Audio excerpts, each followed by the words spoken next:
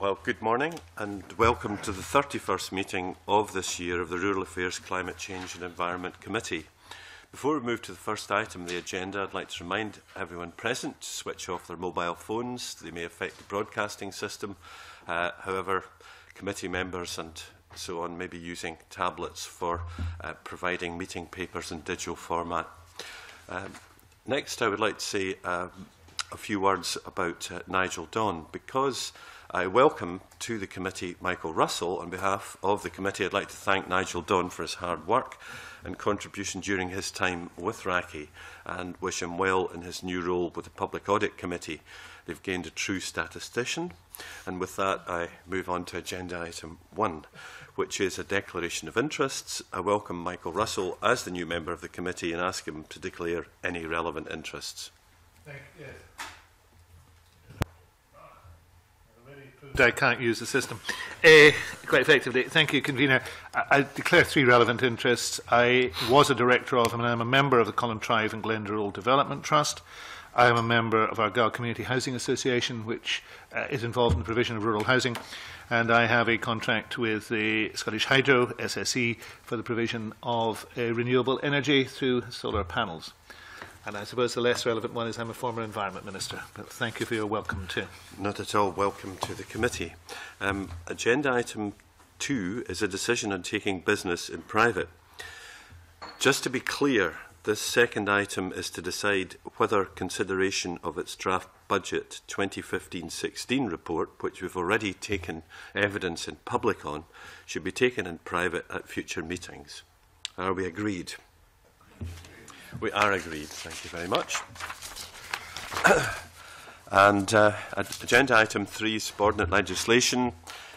Today, uh, the committee is to consider the negative instrument South Arran Marine Conservation Amendment Order 2014 SSI 2014 stroke 297. Uh, members should note that no motion to annul has been received in relation to this instrument, and I refer members to the paper and ask if there are any comments, please.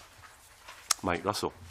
Convener, simply one comment. Uh, in somebody who has a constituency interest in this area of sea, there was a difficulty with creel fishermen who were not consulted at the start of the process. This was a process that was truncated uh, and very urgent. But I do think in future, when drafting takes place, the interests of all users of the marine environment should be borne in mind. The creel fishermen had uh, went through a period of some considerable worry to discover whether or not they would still be able to access the waters. Licenses are, I now understand, being given, but I think for the future it should be noted. I think it's very useful, and uh, fortunately we have the relevant minister here, I think, at the moment. Maybe not, but I'm sure we'll be able to pass it on to, the, to Richard Lockhead Uh, to remind him about that. So, um, uh, the committee agreed that it does not wish to make any recommendations in relation to this instrument. We are agreed. Thank you. and now, um, Dr Aileen MacLeod, Minister for Environment, Climate Change and Land Reform, has joined us for the first time. Welcome to your post, Minister. Thank you. And um, the, on behalf of the committee, I'd like to congratulate you on your new role and we welcome you very much and look forward to working with you. Uh, I would also like to take this opportunity to thank the previous Minister, Paul Wheelhouse, for all his valued contribution to the committee's work and wish him all the best in his new role. Agenda item 4 is sub-ledge. Um, uh, it's in welcoming the new minister to give evidence on the Public Water Supplies Scotland Regulation 2014 draft. This instrument has been laid under the affirmative procedure, which means the Parliament must approve it before provisions may come into force. And following this evidence session, the committee will be invited to consider the motion to approve the instrument under agenda item 5. So I welcome uh, the Minister and uh, her uh, official Sue Petch, Deputy Director, Drinking Water Quality Division in the Scottish Government. Angus MacDonald wishes to make a point. Yes, thanks, Convener. Um, I feel obliged to declare an interest. Uh, I should declare a non-pecuniary interest uh, in that a close family member in Stornoway has an action against Scottish Water in the Court of Session which relates to water quality. Uh, therefore, I'll be recusing myself from items 3 and 4 uh, and take no part in it items four and five? Uh, no, three and four. Oh. oh. Yeah, that's, Yeah, it's all right. The, the, the current agenda that I'm working from is four and five. But we know what you mean. It's this item. No bother. Thank you very much for that. Right. Um, the Minister, do you wish to uh, make a, a statement about the instrument, please? Um, yes, I do, um, Convener. Um, thank you very much for this opportunity uh, to make some opening remarks. Um, before I do, I would uh, like to put on record uh, how much I am looking forward uh, to working with the committee in my new role, and I am keen to be as helpful as I can be with the work of the committee and I'm sure I will be a regular visitor to this committee and I'm very much looking forward uh, to working with you all.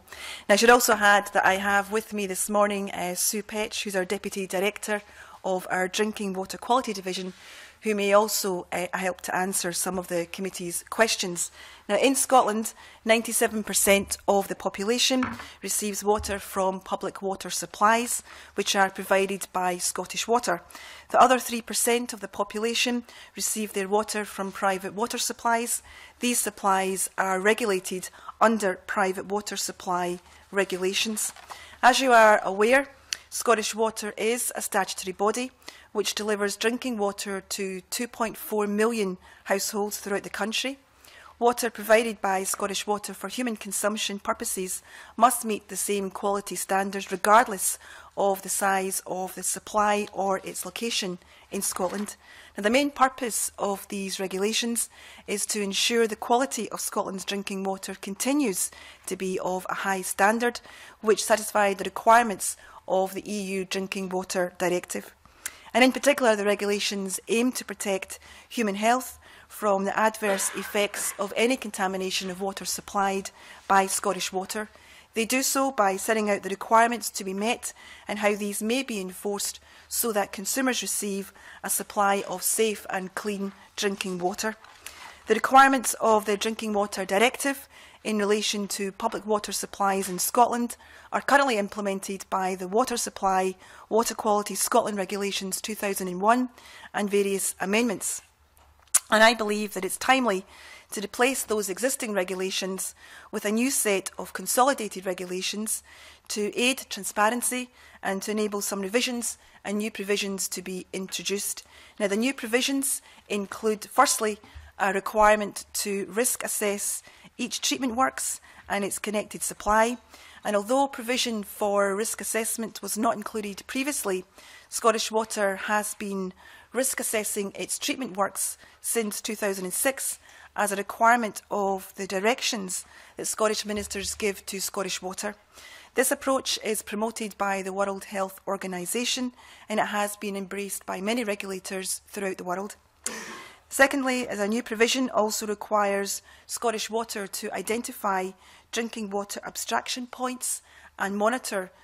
the quality of water at these points. This aligns with the requirements of the EU Water Framework Directive. The regulations also introduce new offences.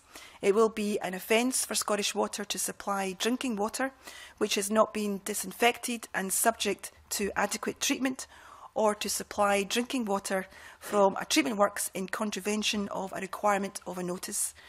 The duty to treat water and disinfect is included in the regulations with the specific aim of the protection of public health, and we believe that given the gravity of the duty, it is considered appropriate that it should be an offence for Scottish Water to supply any such water that has failed this duty. In addition to these new requirements, we have included a number of minor changes. For example, the standard for taste and odour was a specific quantitative value in the previous regulations. It now mirrors that of the directive, which is that the taste or odour of the water must be acceptable to consumers and that there must be no abnormal change. So to conclude, Convener, a very high standard of drinking water quality is important for Scotland, not only for the health of the people living in Scotland, but also for the large number of visitors that are coming to Scotland each year. It is therefore important that we continue to ensure that standard of water in Scotland is the best that it can be, and I would ask the committee to support these regulations, and I'm happy to answer uh, any questions from the committee. Thank you. Yes, uh, Graham Day. Uh, thank you, and, and welcome, uh, Minister. Just uh, two questions really. Um, we're told that there's not anticipated to be a considerable financial impact because the number of such failures in any year is expected to be low. I just wonder what the basis for that assertion is, what the stats are, if, if you happen to have them, as to the number of breaches that have occurred previously. And also just for purposes of clarity, why the change, uh, the new requirement in Part 6, that it's Scottish Water rather than local authorities that carry out this duty?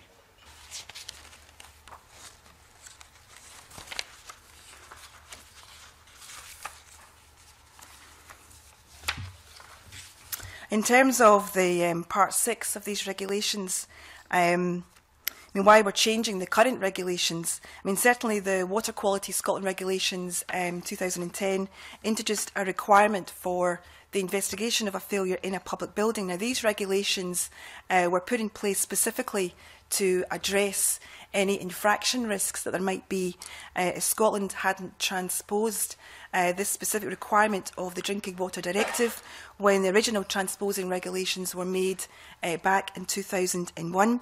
And at the time, the, um, the 2010 regulations were made as the local authority uh, were given the power to take enforcement action against building owners, it was believed that the local authority should carry out uh, the investigation. Now, the practical implementation uh, of this requirement hasn't been uh, straightforward.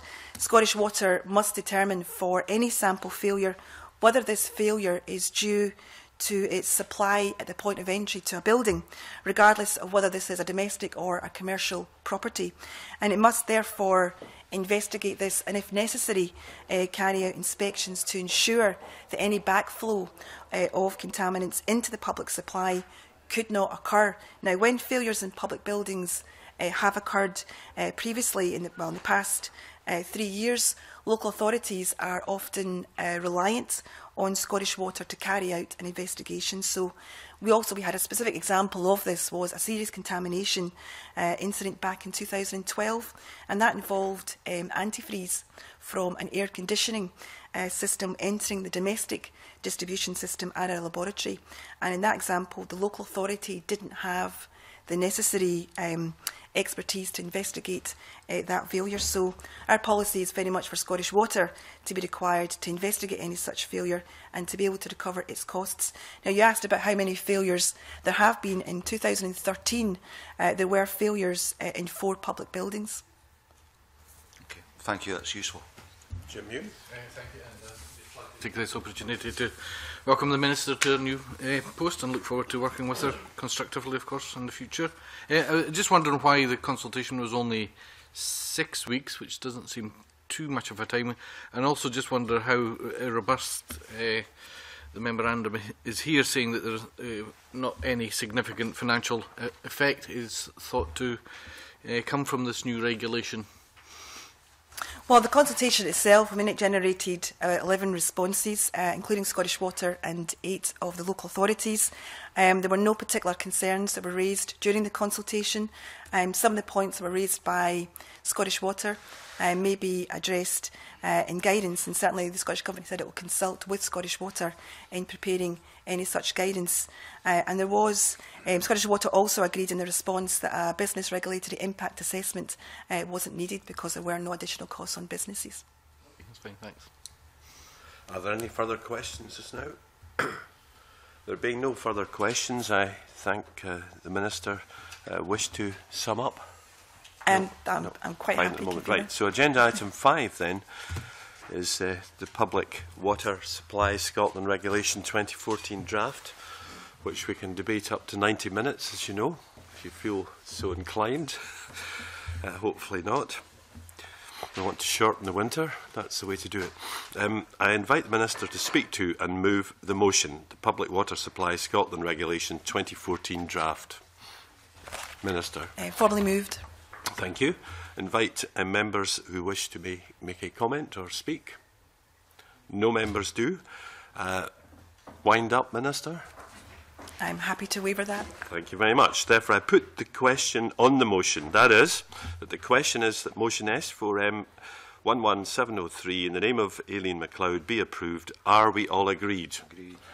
We are all agreed.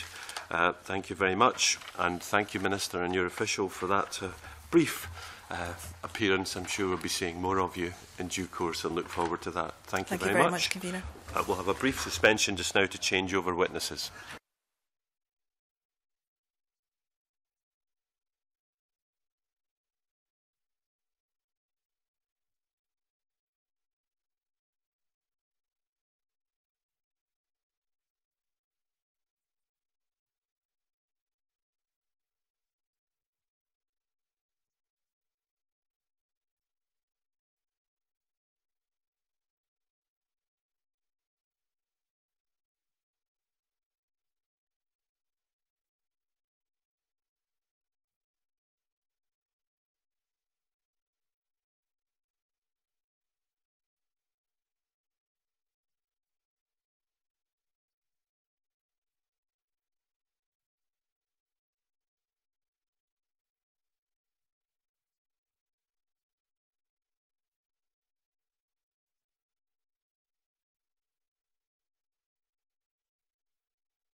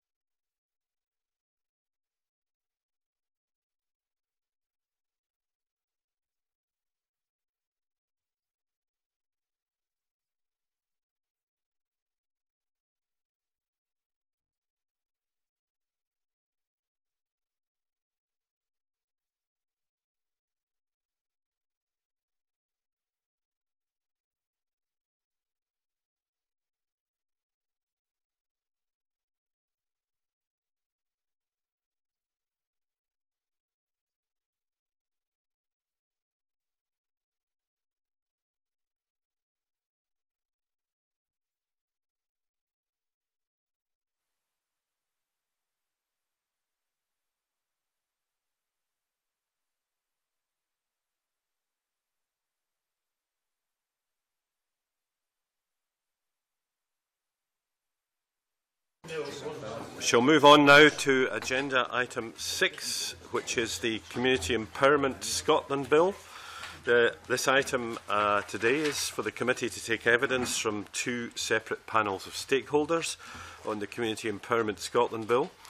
The first panel will focus on rural context of the bill and the second on the urban context and ECHR issues. And uh, I welcome the panel today, John Hollingdale, Chief Executive of Community Woodlands uh, Association. Um, Simon Fraser, solicitor for Anderson uh, MacArthur. Malcolm Coombe, uh, lecturer in law, School of Law in Aberdeen University.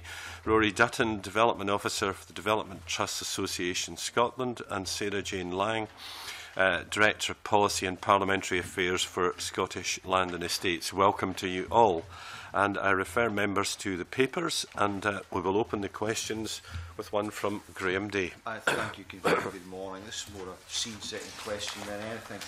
I just would like the views of the panel on whether they're satisfied about the extent of the dialogue and the consultation both on community right to buy and crofting community right to buy and perhaps a view on whether it might have been more appropriate if the Part 4 provisions had been included in uh, separate land reform legislation? Uh, the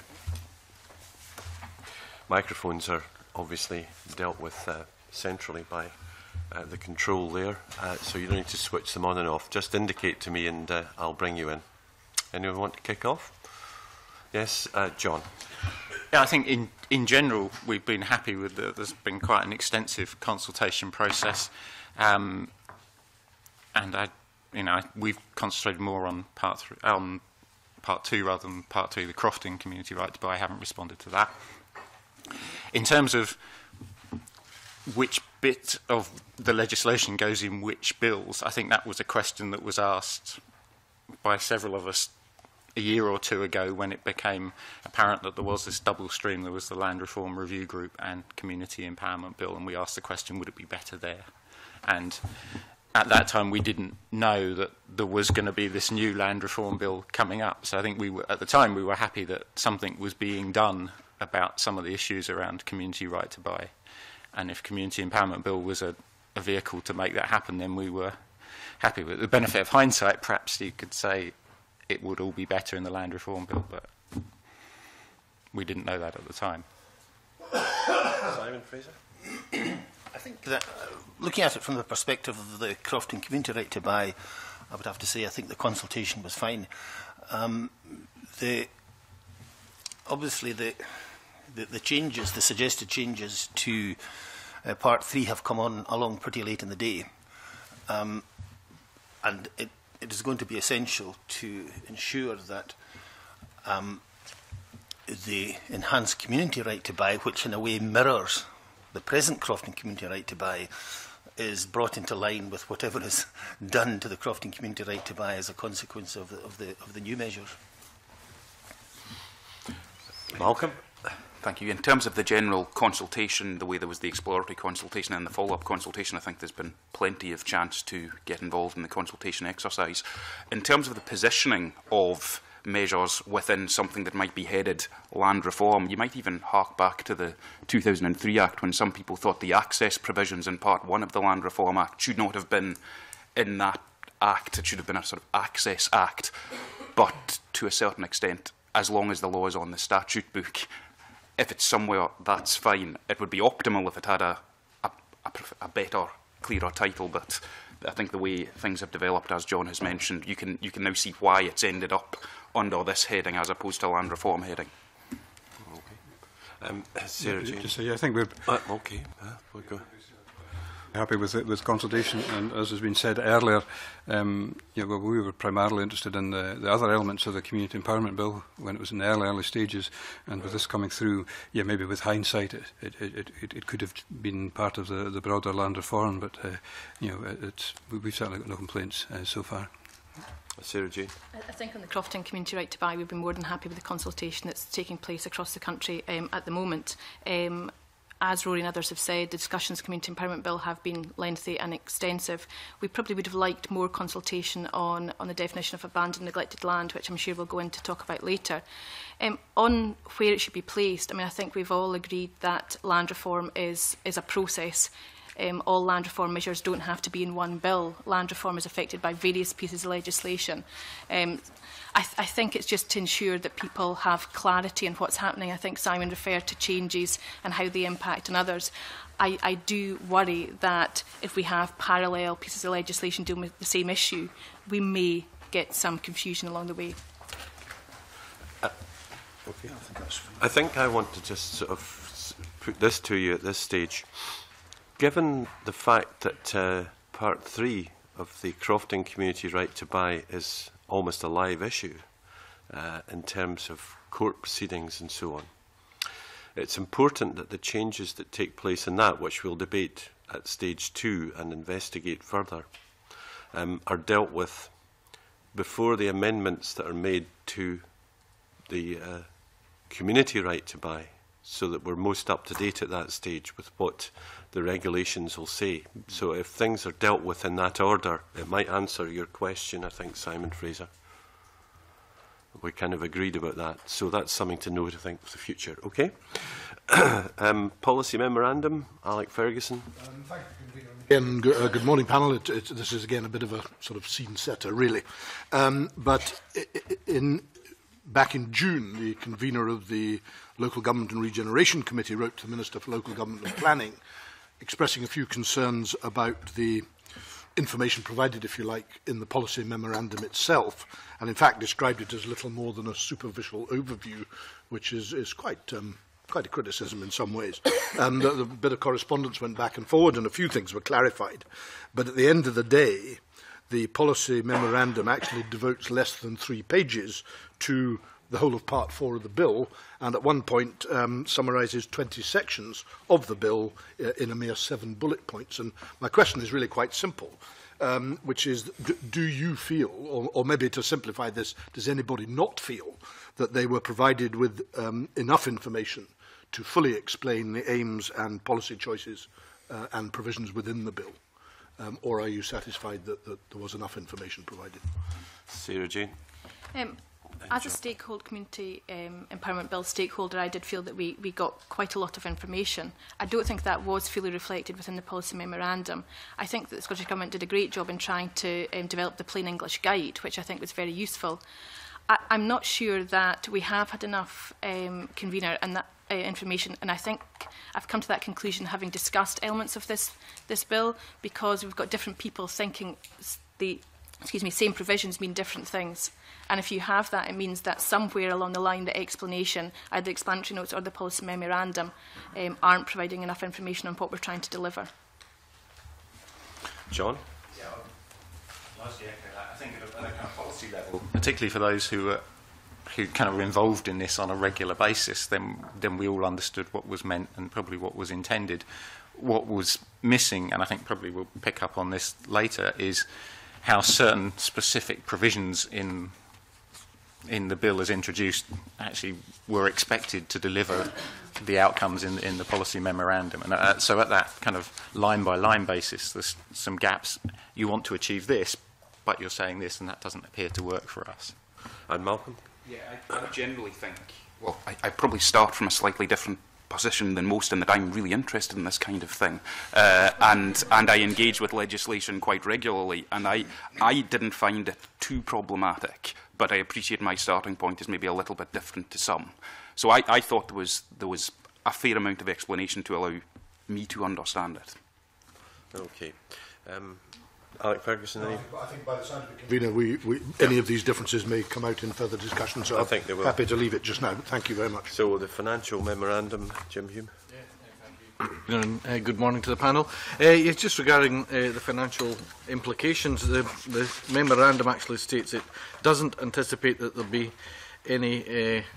significant additional costs, costs on the Scottish Government regarding this legislation, but it does go on to state that there is a large degree of uncertainty on the level of costs regarding communities and the landowners.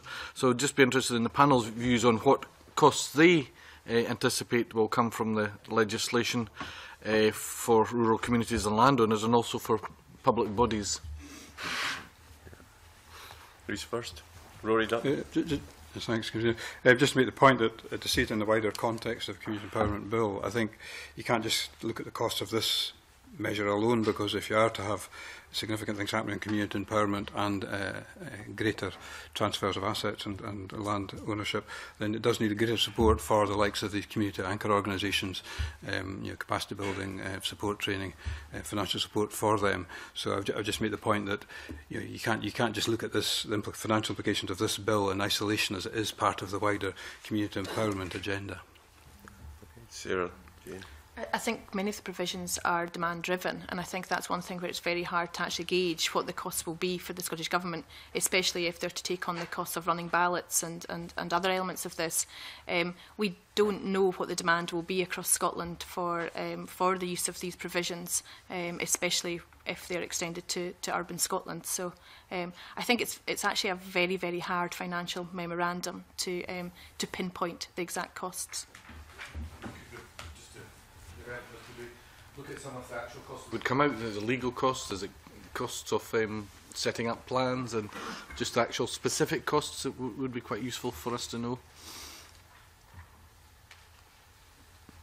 Uh, Simon. Well, in general, those costs falling on the community, if I can look at it from that, that, that end, uh, tend to be met, if not um, from public funds, then from lottery and that sort of thing. There may be a bit of pump priming from HIE in the earlier stages, not a vast amount. But there, there, there's an inevitability that there will be a, a cost which will have to be met because the average community uh, seeking to take on a project of this nature will not necessarily have the funds to take it forward themselves, even, the, even in the initial stages. Um, in the past, HIE were able to assist quite substantially, uh, and that seems to have in, in the main been moved into the Scottish Land Fund uh, uh, uh purse, but uh, there will be a cost that require to be met from some source. John Hollingdale. and uh, I think the, the biggest cost overwhelmingly is the, the acquisition of assets at the end of the process. And if we have a so if, let's say, we have a Scottish Land Fund of £10 million a year, then there's £10 million a year of government money at the moment going towards acquisition. But there's no way of, and I'm sure that would get spent, but it's very difficult to predict what proportion of those acquisitions would be coming through these provisions. So even if there was no community right to buy, or it just didn't work at all, it's still quite likely that there will be £10 million worth of, of community acquisitions coming through the National Forest Land Scheme or local authority asset transfers or, or private sales.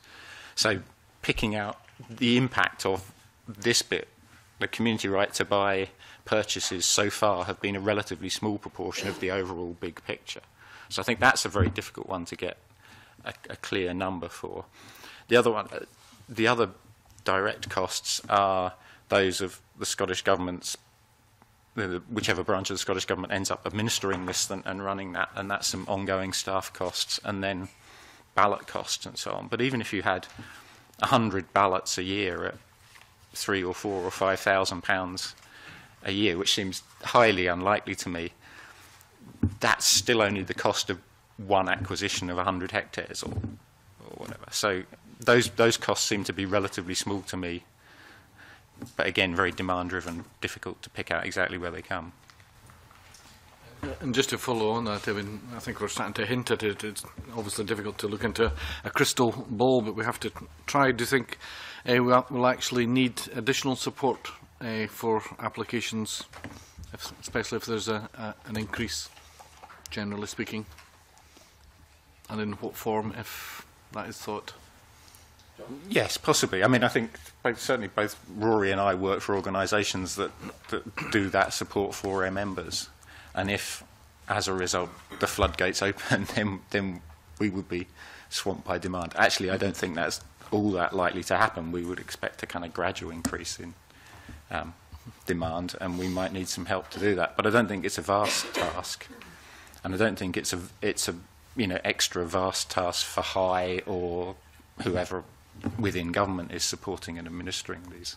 Mm -hmm. uh, Malcolm, could, Yeah, some of the support it, they in terms of if a community previously had to incorporate as a company limited does, by guarantee they had to do that already in the 2003 Act scheme so the existing sources can be looked to it's just a case of giving the whatever support might be there beefing that up a little bit and in terms of anything else in I mean, an analogy might be the sort of recent introduction of the crofting register in terms of that's obviously going to introduce some element of administration cost. But to coin a phrase, you can't make an omelette without breaking eggs. If the if the if the policy goal is there, there will be costs somewhere, but that's something to be to be met. convener. Good, good morning to the panel. It, it's a, a quick supplementary, I think, but um, one or two panel members have mentioned high, and I just wonder about uh, the support beyond um, the Highlands and Islands in relation to um, communities and costs specifically, uh, especially in view of the fact that although the Land Reform um, Review Group has, has made recommendations, as we all know, about the, the different bodies that might be set up in government, but that's not necessarily well, going to happen even in spite of the announcements about the consultation, you know, not to preempt the, the, the new land reform bill. So I'm just wondering if there are any comments on support beyond the Highlands for communities. Rory Dunn. And the Scottish Government is funding the Strength of Communities programme, which uh, we, we're helping deliver in partnership uh, for uh, it's, it's only a relatively small number out with the higher, I think it's about 25 groups, and they're already the established groups. So if you like, that sort of capacity building um, is very welcome, and we'd like to see that rolled out more broadly. Um, there's also small grant schemes you know, like investing in ideas and things like that from the lottery that people can get assistance for, but I would, I would probably concur that where there's an opportunity and there isn't an established group, there, there is a deficit there of, of support uh, for getting an organisation up and running to then be able to then take advantage of this, because it is quite a lengthy process. Okay, that's fine on that point. Um, uh, John Hollingdale, perhaps?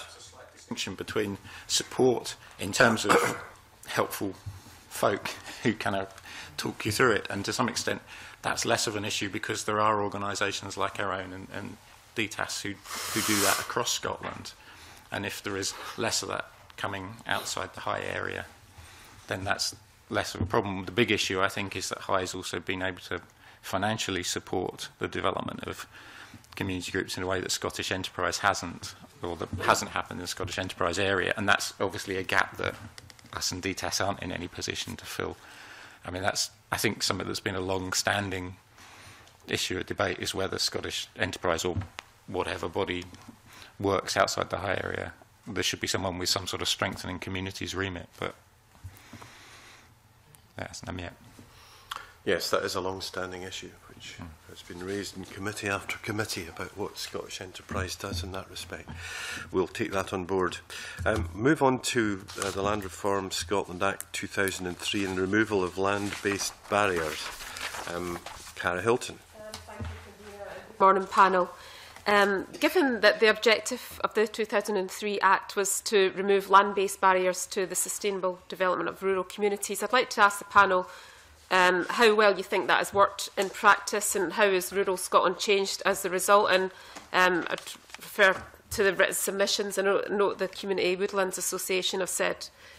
um, that the complexities and hurdles contained within the Act have severely limited its use on the ground. Would the panel agree with that position? You're going to start, John. yes, I mean, I think it's clear that the numbers of successful acquisitions through the Act are pretty low. I think about 16 or so in 10 years, which doesn't seem a huge um, positive track record. There are obviously, it has a wider symbolic influence than that. The existence of the Act sets a, a framework, and there have been other tran um, transfers to community ownership that have happened kind of because of the act being there and it was easier to just negotiate a, a settlement. So I think in that respect it's had a, a very positive effect. It's probably fair to say though that it, the rate of change, there wasn't a sort of step change in the rate of community ownership. I roughly looking through a membership of 150 or so organisations, the median age is about 2002, 2003. So in other words, half of them were around before the Act. And if you think about a lot of the big iconic buyouts, they, they predate the Act. So it didn't completely change the practical delivery of community ownership or the practical extent of community ownership in, in an enormously radical way. It has definitely helped, but perhaps not to the extent that we had hoped it would. Malcolm Cook. I echo a lot of what John has said there. I echo a lot of what John has said. Um, what I would say is, having checked yesterday what the Register of Community and Land had in terms of its registrations, it's currently got 175 registered interests, not all of which have been, some of them are deleted, some of them have sort of, a few have been activated. 40 of those um, relate to Fife. There was a lot of registrations along Kinghorn, around Kinghorn Loch because there was individual ownership. So you can actually discount a few in terms of how many of those are actual one one application, or, or rather five applications, might be one community, if you know what I mean. Um, so um, th that, as John has said, has maybe not had a, a marked effect since 2003. So symbolically, it, it has something, but bureaucratically, in terms of how, how many actual changes have been affected. Um, for example, there was the, the bottling factory in Lochwinnoch, the old Crystal Clear factory. There'd been a, a lot of attempts to take that on, and that kind of burnt out, and nothing really happened. So whether or not the 2003 Act has been effective. In that particular instance, it maybe not, but overall, it's a more difficult question. Rory Dublin. Yeah, thanks. Um, I, I, backwards on was saying there about the the fact this is in the background, even if some, things don't appear on here uh, on, in the stats. For example, local authorities are aware that a community might put a, a community right to buy registration on a, on a, on a, on a property if, if, if things don't start moving. Um, but I'd say that, yes, there, there are low, low absolute numbers, and you know, the bottom line is it's, it's not a right to buy, it's been, a, it's been a right of preemption if it comes on the market. And, you know, and, and tied to that, that is a, you know, your, your registration expires after five years. Um, it's quite onerous uh, for, for volunteer organisations to go through the registration process. Can they, can they go, uh, face doing that again after five years? So, you know, I, I think the bottom line to me is, is that it's a, it's, a, it's a right of preemption and a lot of assets that communities would be interested in um, don't come up on the market. Okay, Sarah Jane. I wouldn't disagree with anything that's been said so far. Um, I, I think, as John said, the uh, transfers which have happened through the Act are, are only one part. Um, but I think everyone would agree that the Act itself has probably not delivered um, the aspirations of many at the time it was introduced. Go on. to be supplementary to that, um, I would just be interested in, on your views on how you think the experiences to date have informed the Community Empowerment Bill as it's currently drafted. Sarah Jane um, one of the things that's just come through in the Community Empowerment Bill is that ownership is, is only one aspect of, of empowering communities, understanding how community planning works, what a community's needs are, um, whether ownership will actually meet that need. The, the Community Empowerment Bill takes all those things into consideration and starts to try and look at community ownership in, in the round of an effective um, local decision-making and community planning um, framework. I don't think it actually goes far enough, but I do think it, it is a start. So I, I think a lot of those things came out, a lot of the problems about relationships, communication, other barriers to development, all came out, are all drawn out because of problems people were experiencing with the 2003 Act, and they have been recognised in this new bill. It doesn't go far enough. N no. Explain. Um, I think when it comes to community planning and local decision making, um, you can't legislate for all of that. Um, I would like to see something in here in the bill about um, community councils, their role, um, about how communities really do play an effective part in local decision making um, by local authorities and other agencies. And the community planning for me still feels like the same agencies round the table it doesn't feel like um, bottom-up involving communities of geography and communities of interest. Um, so we, we, we've made these comments to the Local Government Regeneration Committee um, about the parts and community planning, but I think especially from a rural point of view, um, the framework within which community ownership sits is actually very important, which means that we have to have the community planning um, partnerships working effectively. Indeed. Um, First of all, John, and then Rody.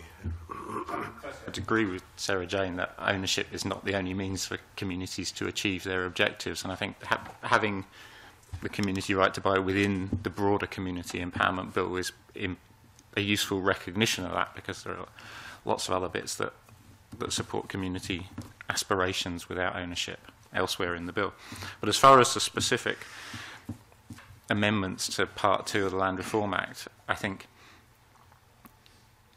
there is a lot of positive amendments in there, but I think at some level they're a bit cosmetic rather than addressing some of the structural problems with the bill. So they will undoubtedly smooth the process and, and ease matters, but it's a bit like you know, this model of car is not very good, but now it will have airbags and, and a catalytic converter, but it still only has one gear and petrol's rationed. It isn't going to go very much better. And I think that's a, that's a bit of a, an issue to my mind that it hasn't addressed some of the fundamental structural problems with the way that part two works or doesn't work. Um, well, one, so the good things are things like allowing skios to be members, but fundamentally, if your community body is a skio or a company limited by guarantee, it doesn't change the fact that you have to go through this registration process and then sit there for five years, re-register, sit there endlessly until the landowner decides to sell if they ever decide to sell. Um, so that fundamental issues about whether you actually need a registration process, this kind of two-step process that's very much at the whim of the seller, I think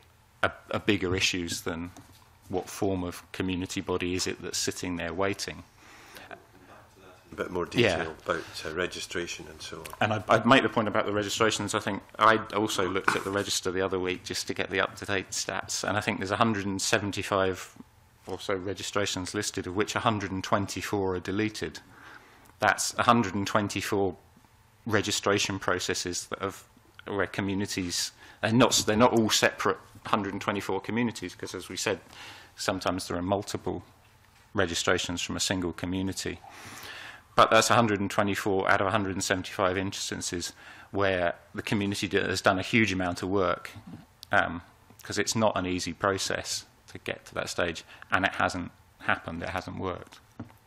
And then there's 30 or so that are sort of sitting there waiting for the land to come up and 16 where it's gone through. So that suggests to me that there's a kind of structural issue that communities aren't really, the majority of communities aren't being able to progress through the scheme. Did you want to come in at this stage, Dave Thompson, at all? Um, well, it was an issue I was going to uh, pick up on uh, generally, uh, convener. I mean, I, I'm happy to deal with it just now if, if you if well, since like. we're talking about registration, ah, okay. Um, yeah, good morning uh, to the to the panel. Um, yes, I'm interested in in whether sh there should be, you know, the panel's views on whether there, there should be a need to um, pre-register at all because a lot of the evidence we've had so far indicates that a great number of registrations have been late, in inverted commas, registrations and so on. And obviously communities, you know, the amount of work they have to do to, to, to register an interest. And they've got to try and anticipate what's in the minds of um, the landowners, which is basically impossible to do.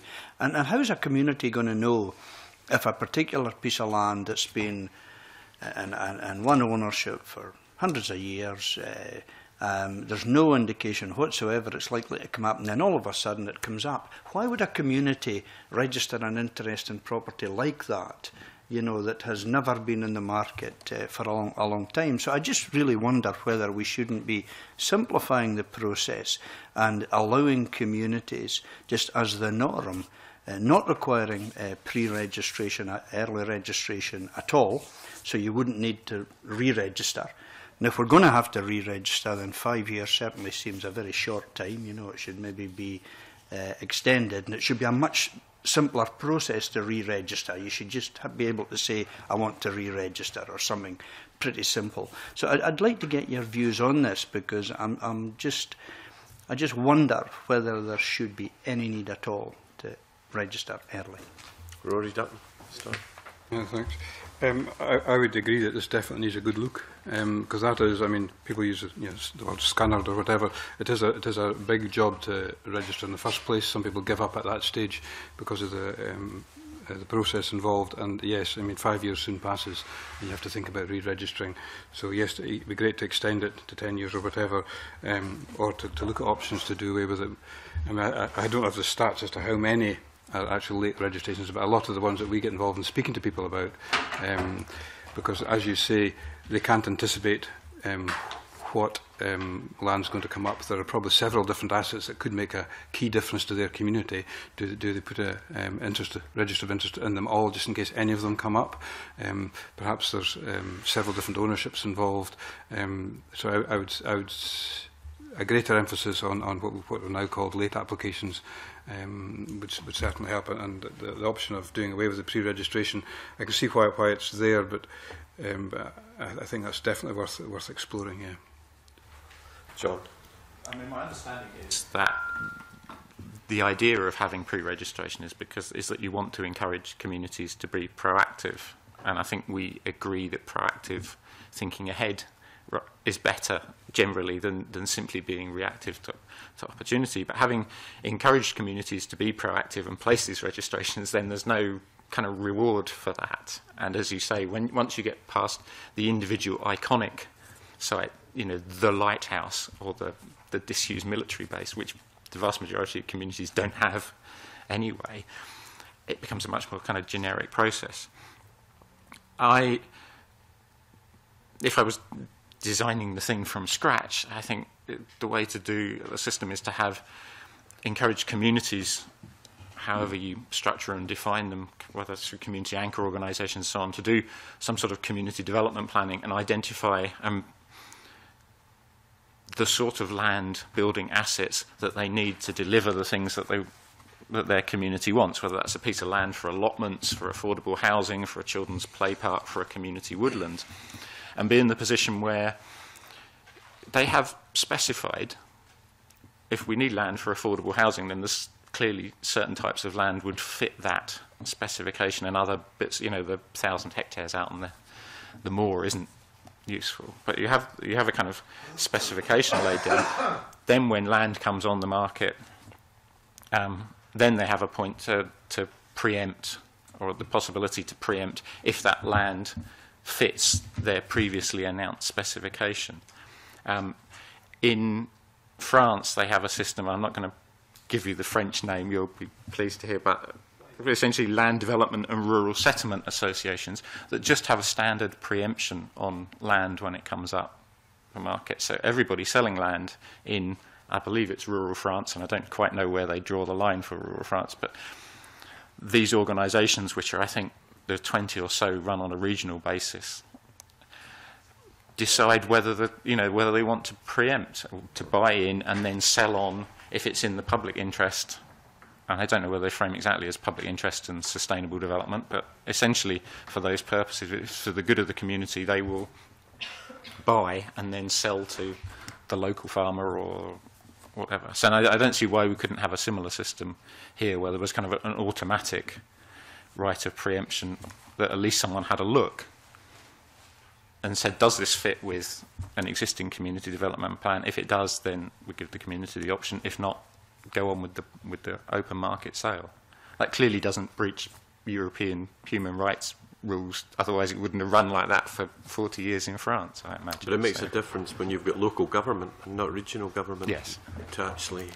focus. Yes, the there's a whole different structural differences. About. But I mean, I think in terms of the principle of the way you can operate, that would be workable.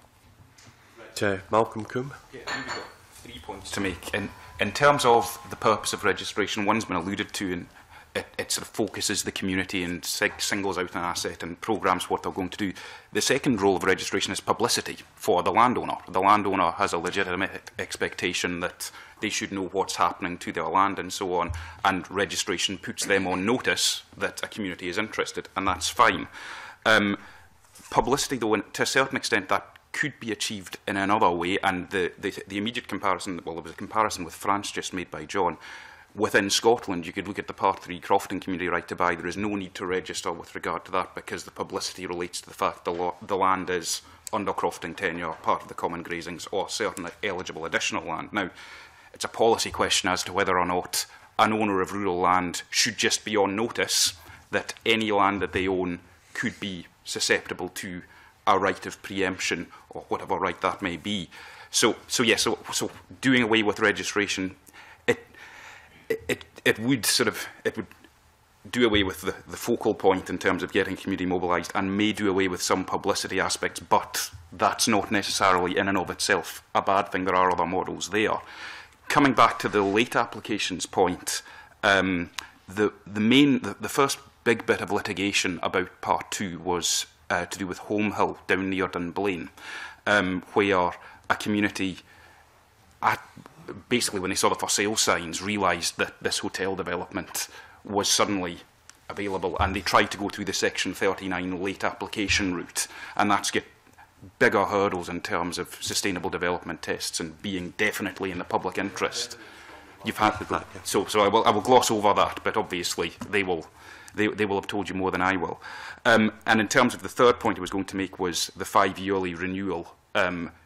having a sort of from scratch five yearly renewal is probably quite an unnecessary administrative burden. Um, a quick, do you still want to have a registered interest? Yes, I do. So assuming, assuming the register was to stay, it could be a lot simpler.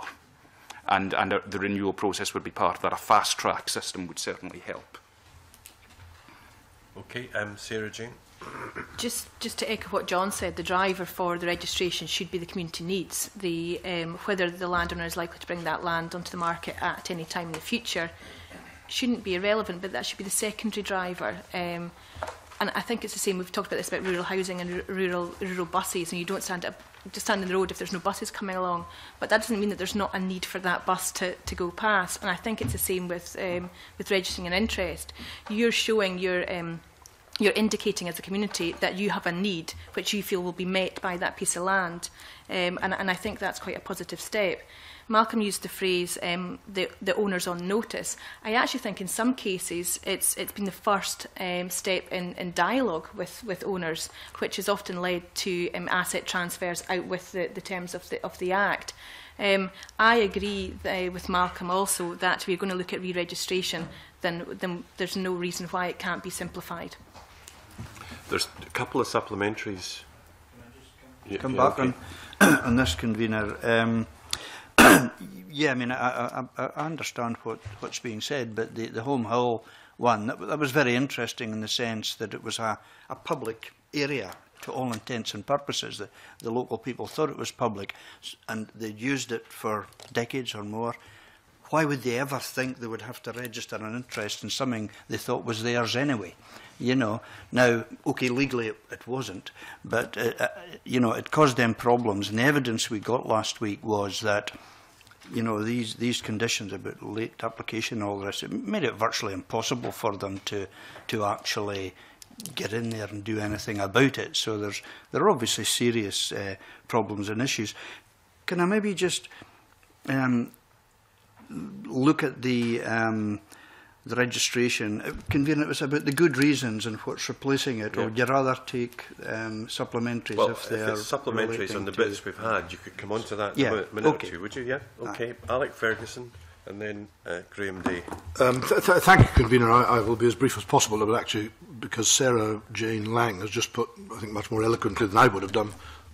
some of the point I was going to make, which is that I, I, I personally am inclined to the view that some uh, sort of process is necessary, albeit a simplified one. I'm, I'm very open to that argument, particularly when it comes to re-registration.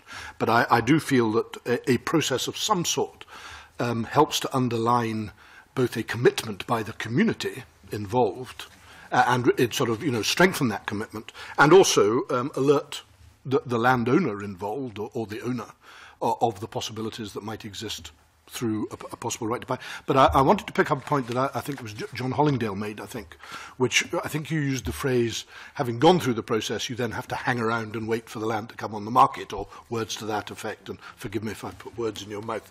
Um, I, I, I would just be interested to know what your answer to that is, because it seems to me that if you aren't, if, uh, if you aren't going to hang around and wait for the market, the, the, the land to come on the market, you are talking about a, a, an absolute right to buy as opposed to a preemptive one. And I, I wonder if you could expand on your thought. Is that what you're advocating? Just before you do, a supplementary to the supplementary. Uh, th thank you, Kavira, because it, it just very much fits in with Alec Ferguson's point. I think go back to the comment that Malcolm Coombe made, where I think you, you talked about instead of having a five-year full re-registration process, you would simply go back and say, do you still have an interest? Well, of course, you may be a different entity because I presently have a planning application in my constituency, which, if it's granted, would see a community's housing footprint increased from 100 homes to 300 homes within a four to five year period. So the nature of that community could fundamentally change. Right, so those two points. John? Um, so to your point first, Mr Ferguson.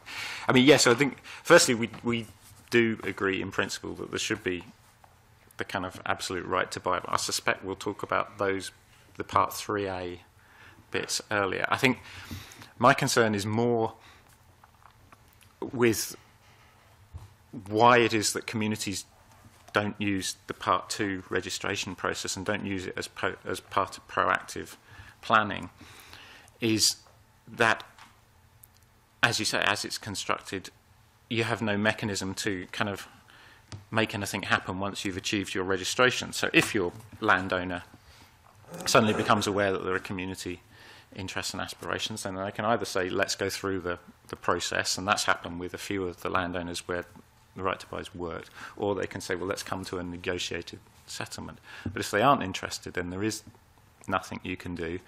And I think the reality of community bodies is that they're set up to do a whole range of things and deliver community aspirations. And they'll choose the routes that appear to achieve things for them. So a community body isn't going to sit there with um, existing registrations and nothing happen. It'll focus its attention. You wouldn't, you wouldn't say, if we've got five ways to try and achieve some of the things, the multiple things that communities want to to do because very few communities come up with a kind of single issue. Those community bodies go and focus on the things that look achievable. And, you know, we know how to do that. We can go to the lottery, we can get a grant, we can do whatever. The ones that have gone into the registration process and have gone through it tend to be those where there's a kind of single iconic standalone um, project that is an obvious thing to fix. I mean, I think the, the two lighthouses have gone through the, the process, military bases, things where there is a one-off in that particular community, and it's there's been enough value for that single site for the community to to put the registration in. What they haven't done is used it, generally speaking, to do the kind of run-of-the-mill development processes, things that affordable housing allotments, so on. You either try and achieve them other ways, or you give up and say we'll do it when we find you know when the opportunity arises. Um, it's actually very difficult with the Act of the way it's structured at the moment to place multiple, if, if you want affordable housing in your small town, there might actually be 20, 30, 40 gap sites available.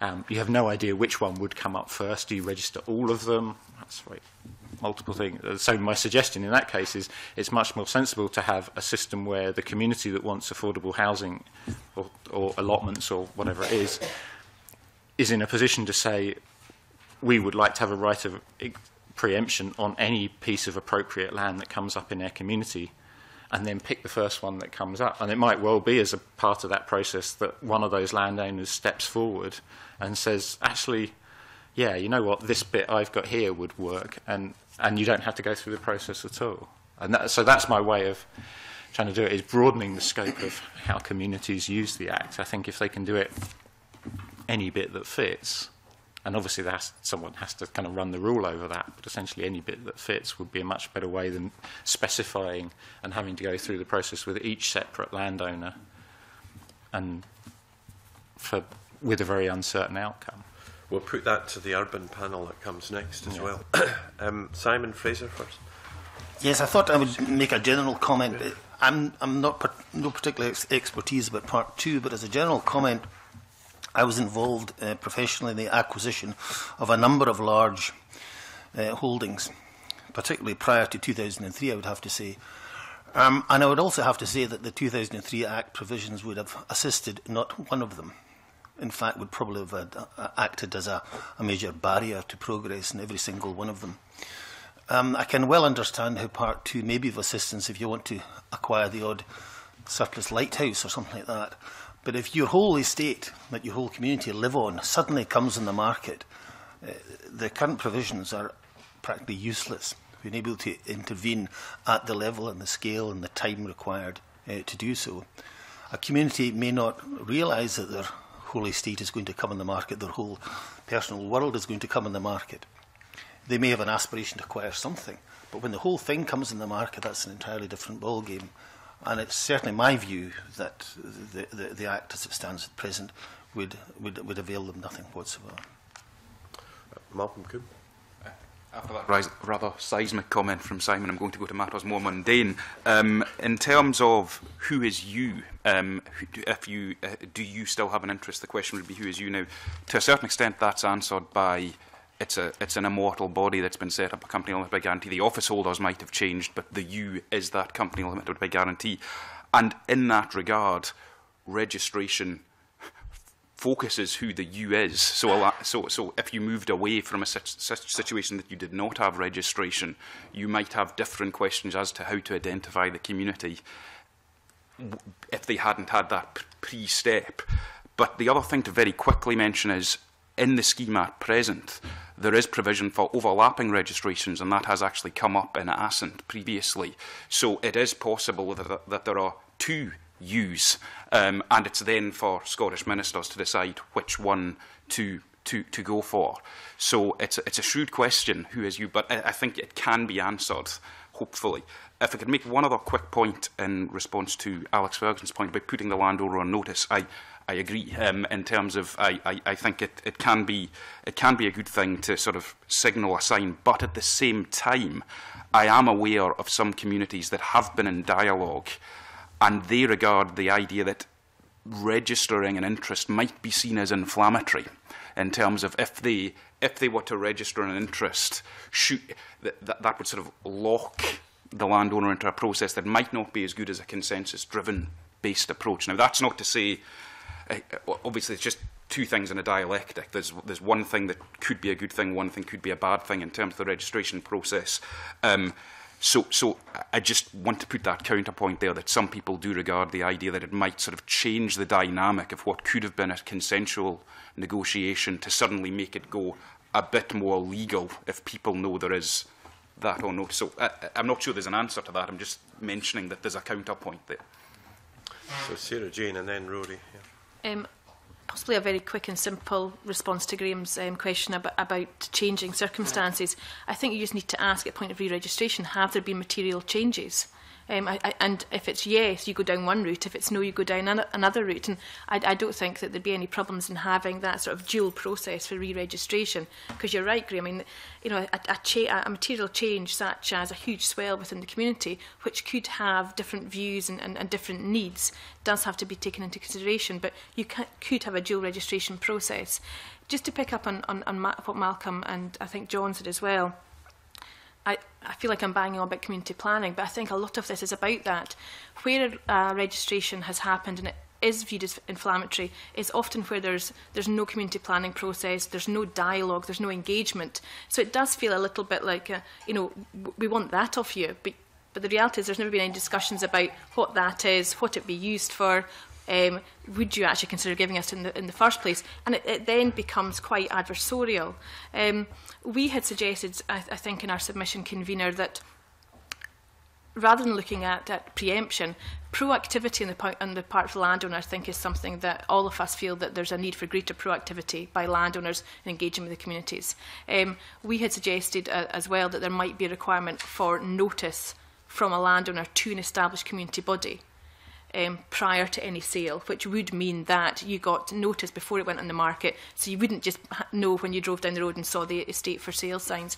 I, I, I feel again that puts the onus very much on the engagement and, and, and a positive relationship uh, basis rather than that right of preemption, which always feels adversarial. Okay, Rory Dunn. Okay. Um, quite a lot of balls in there just now, but for, I'll just make a, a point just to bear in mind at all times that in a lot of cases we are dealing with volunteers here and uh, it is a it is a huge demand on volunteers and going through this process people get burned out um, organizations lose their steam um, if, if the, for example the assets withdrawn from the market at the last minute it has a devastating impact on the morale of that community so we are talking about volunteer time and we are talking about um, you know a, very precious um, human resources go into these that can easily be um, wasted, if you like. But I go, go back to the earlier point about um, has this bill kind of addressed the main issues and will it result in any sort of transformational change? Obviously, talking later on about the urban one, that's something that could well make a big difference. And the, the other point I would make you know, while there has been lots of um, proposals there for easing the process, the other big one would be the abandoned neglected land because that's a right, of, right to buy rather than a preemption right. Now, we would like to see um, in the interest of efficient use of, of um, community volunteer time, if there was a way, whether it's done through a more of a planning route or whether it's done through um, um, an absolute kind of right to buy,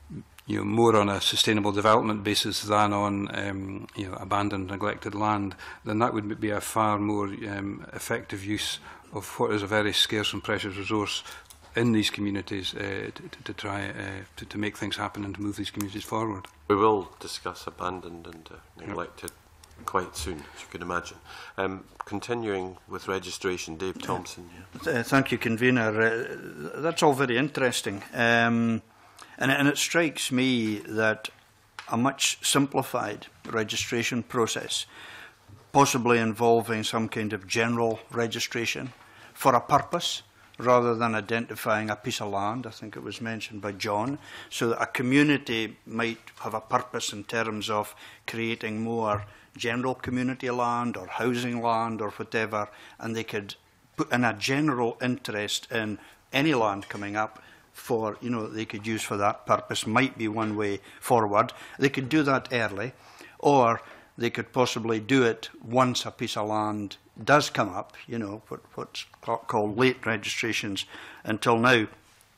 I was also interested in the comment about um, communities being devastated once they go through a process and then land is withdrawn. Maybe we should be looking at um, something which says once the land has gone on the market and once the community have shown an interest, the land can't be withdrawn. So I'd be interested to know if that is something, because that would prevent uh, a landowner uh, putting it uh, on the market and then to usurp the community, withdrawing it again. Now, around all of that, sorry if I'm going on quite a lot here, there's a lot, a lot of issues in here. The, the good reasons um, issue has been withdrawn. Uh, it, it's not in the, the bill in terms of late registrations and as I say, I'm, I'm not keen on this early, late and all that. I think we should have registration and, and, and different people be able to come in at different times potentially. But the new clauses that are in the bill in terms of late registration, we had some evidence from community land Scotland, saying that uh, you know it's to do with such relevant work as ministers consider reasonable was carried out, and just how that would be interpreted. I just wonder again how, what the panel thinks about how easy it would be for a community to prove that they had undertaken earlier work, you know, because it's got to be done sufficiently in advance. So again, coming back to this point about why do we need to have early registration. Why not just have a registration along the lines that I've uh, mentioned a few minutes ago? John? Yeah, I mean, I think in her evidence, that was one of the, precisely that point. But it's very unclear to us what the, the phrasing uh, or what the interpretation of such relevant work as the ministers decide It says the relevant work was carried out in respect of land with a view to the land being used for purposes that are the same as those proposed to the land. If that, I guess there is an interpretation of that that's possible, but it's precisely that, that the community has defined that it wants to register land for specific purposes or it has identified specific purposes for which it wishes to acquire land. And if minister, and then once a bit of land comes on the market that fits this specification that would be fit for those purposes if it's understood that ministers then accept that that meets this test, then I think we'd be very happy with that. But it's not clear to us that it does, and I'm not quite sure exactly what the phrasing is on the face of the bill, or indeed in the in the kind of guidance behind it that that locks that in. But that, there's certainly a possibility that that might happen, but it's not quite clear to us that that's exactly what they were thinking of the, you know, the build team were thinking of when they wrote those lines. We'll reflect on that for sure. Um, can we move on to another point now? I don't think there's any more that we need to say on uh, on this matter. No one else wanted to come in there. That's fine. Um, Claudia Beamish, the meaning of community. Uh, the complex issue of the meaning of community, which has been touched on by yourself, John, in relation to skios, and uh, it's very much in the air, this definition that, um, and I'm not going to go into the detail of the Section 34 of the 2003 Act, which panel members will be familiar with, although I'm happy to cover it if, if we need to. Um, do my best anyway. um, it, it's obviously very important uh, looking at this, this bill uh, to consider in what ways the definition of community uh, can be widened. And I'm, I'm interested to know what the views of the panel are um, uh, beyond yourself, John, and uh, on skios. And also last week it was mentioned um, by the Development um, Trust Association Scotland about um, ben, the Bencom structure and a question mark over why that was excluded. Mm Um, there's also the issue to cover the, the main points and then we can have the, the discussion. I hope this is useful. Also issues around whether postcode units are too restrictive um, and a way to define rural communities, if not through postcode. Uh, communities of interest, such as arts organisations or Um, I saw something um, came in to me earlier in, in the week about um, sports organisations as well, um, such as golf courses. Um, there are charities, ethnic groups. Um, so there are definitions in relation to communities of interest that could be considered. There are also, of course, um, as, re as was referred to in last week's panel, co um, communities of, of place. Um, So I'm really just opening that up for member, members of the panel to comment on as they see appropriate. That would be very helpful. Rory Dutton. Thank you.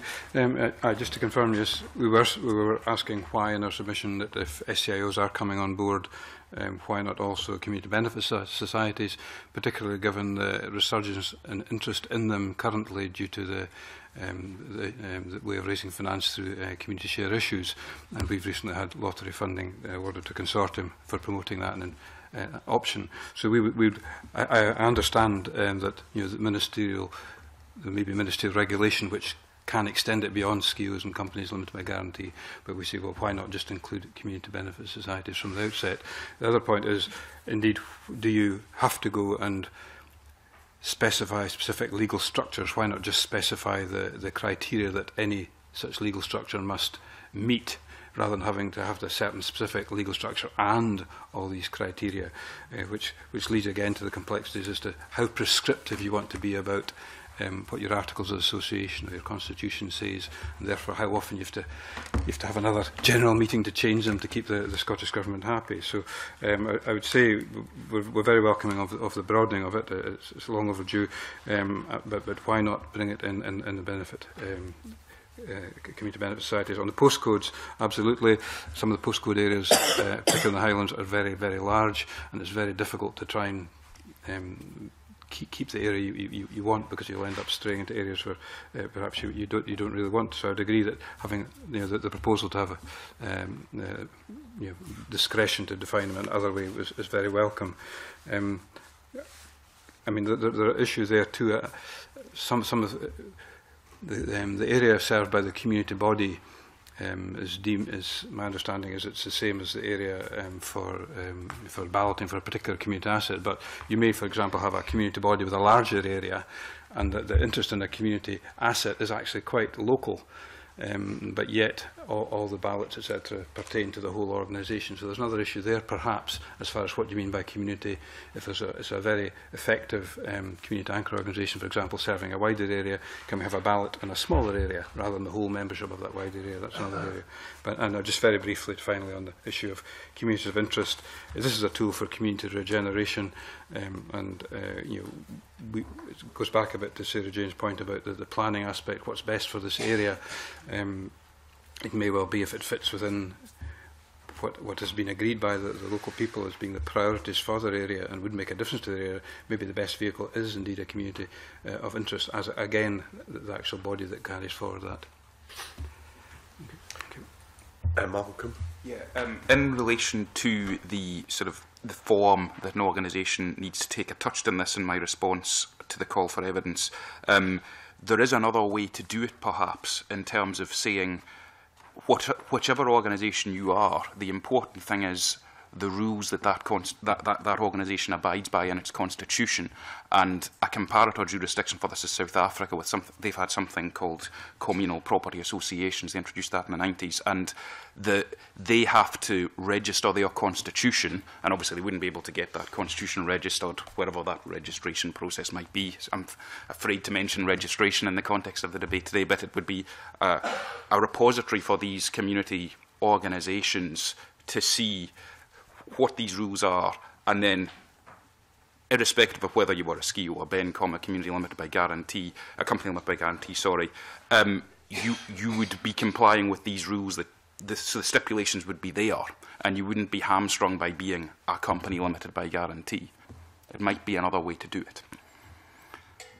Just on that point, Sandra Holmes last week suggested that they had a stock constitution, which they had in the community land unit or whatever it's called now, NHI.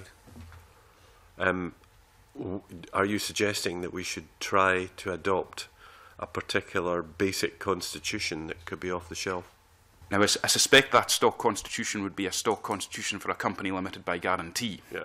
So you, you'd almost want to carve out the bits of that stock constitution, assuming it was a model for, for the use. You'd carve out the bits that pertain specifically yeah. to a company limited by guarantee yeah. and leave in the things that relate to the asset, the community, and, and provided that the community was able to form which, whichever vehicle they chose as most suitable for them, which in some cases might even involve someone like a local charity who's got a similar interest coming on board, and whether it's the John Muir Trust or the RSPB, I know these are, that's an emotive issue as well, but someone, someone else who might be, because at the moment it's just a community in terms of a postcode unit. Now, I'm not saying we, we want to sort of open it up in that way, but if, if uh, the sort of underlying community as a, in whatever form it took, was able to say, we have got these rules, we can comply with these rules and these are on record, that might be a more flexible form. Good. Right. Sarah Jane and then Rory. I, I don't have anything to add further to the comments about community body, but I wanted to pick up on your on, on definition of community and, and community of geography as opposed to community of interest. A community of geography should include a number of communities of interest. And when you look at what the community needs are, they should be able to weigh up the different uh, communities of interest needs and have a holistic view. The problem when you go down the community of interest route is, of course, each community of interest has a different interest, and their sole purpose will be to further the interests of that community. And, and I, I think that's where you actually start creating lots and lots of tensions within community. And again, we go back to community planning. If everyone has a seat, everyone has an equal voice, then the sports clubs, the um, environmentalists, those with housing needs, everything is, is looked at in the round. And I, I think that's what a community of geography, a uh, community of place actually does. So, so I would support retaining the community of geography um, as, as, the, as the community um, definition for community right to buy. Arguing then that there shouldn't be um, Uh, the community of, of uh, interest on as, as, as part of the definition for I, the... Yeah, I don't think that community of interest should have the same rights of, um, to, to buy as a community of geography. Uh, Rory Dutton. Thank you. Just to pick up on, on Malcolm's point there, I would agree this idea of having, I mean, the legislation needs only to have the criteria that are required to safeguard, um, the, the, if you like, the public's investment, if you like, uh, the public benefit. Um, and it we'll soon rattle up model um, articles of association constitutions we've already got, as high does um, and CW um, model articles of association for community right to buy or not community right to buy. We've got model SKEW constitution um, as well, and no doubt we will have a model SKEW constitution for a community right to buy. So we can soon rattle up the model constitutions. You don't need that in the regulation. What you need in the regulation is, is, is the criteria that must be built into these governing documents. Thank you. Okay, uh, John, you wanted to say? yes, I mean, certainly another vote for fundamentally looking at the characteristics that you want from a community. Obviously, you need a body that's incorporated, needs to be open, needs to be non-profit distributing, and have appropriate sort of wind-up dissolution clauses and, and so on. So those are well understood, and there are models available for the different company forms. The problem is, as soon as the legislation changes, all, all those existing model constitutions then need to go and be re-amended, which is an issue that will arise with some of the provisions in, in, in the bill as presented. What I did want to pick up just slightly was on the communities of interest. That actually, and I'm, it's a dangerous thing, I'm sitting next to two eminent lawyers who may contradict me, but as far as I can see, the existing provisions, the existing Act, doesn't actually exclude what I would consider local communities of interest from using the provisions. It, it clearly rules out the RSPB or you know some sort of national body or the Scottish Mountain Biking Association if, if there is such a thing. But it wouldn't rule out, and again, I have no idea if these organisations exist, but you know, the Thurso Amateur Dramatic Society could, if they want, you know, if they rented their local playhouse from a private landowner were concerned it was going to be sold from under, could, it seems to me, register an interest in that. Um, they would have to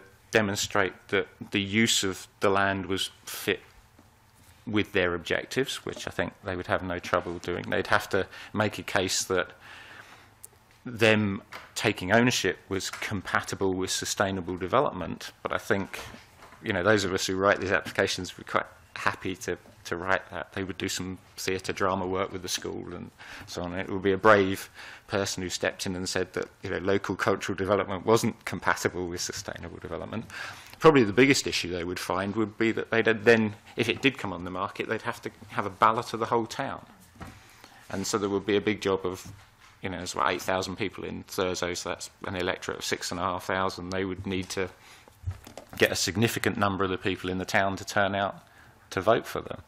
But I don't think that's insurmountable. So, so I think there is a mechanism for it to happen. It just probably hasn't been picked up. It would be much more difficult, I suspect, when you scale that up to the to a bigger urban scale. Again, I don't know if there is such an organisation, but the Glasgow Muslim Women's Cultural Centre would have a, a, fairly relatively narrow, small proportion of membership if they're expected to ballot the whole of Glasgow.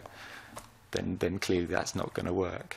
But as far as it sits with kind of relatively local communities of interest, it seems that they can go through. And some of those registrations that exist are, to some extent, that. I mean, in Forres, which is a town of almost 10,000 people, there is an active, or there is a current registration on the football pitch.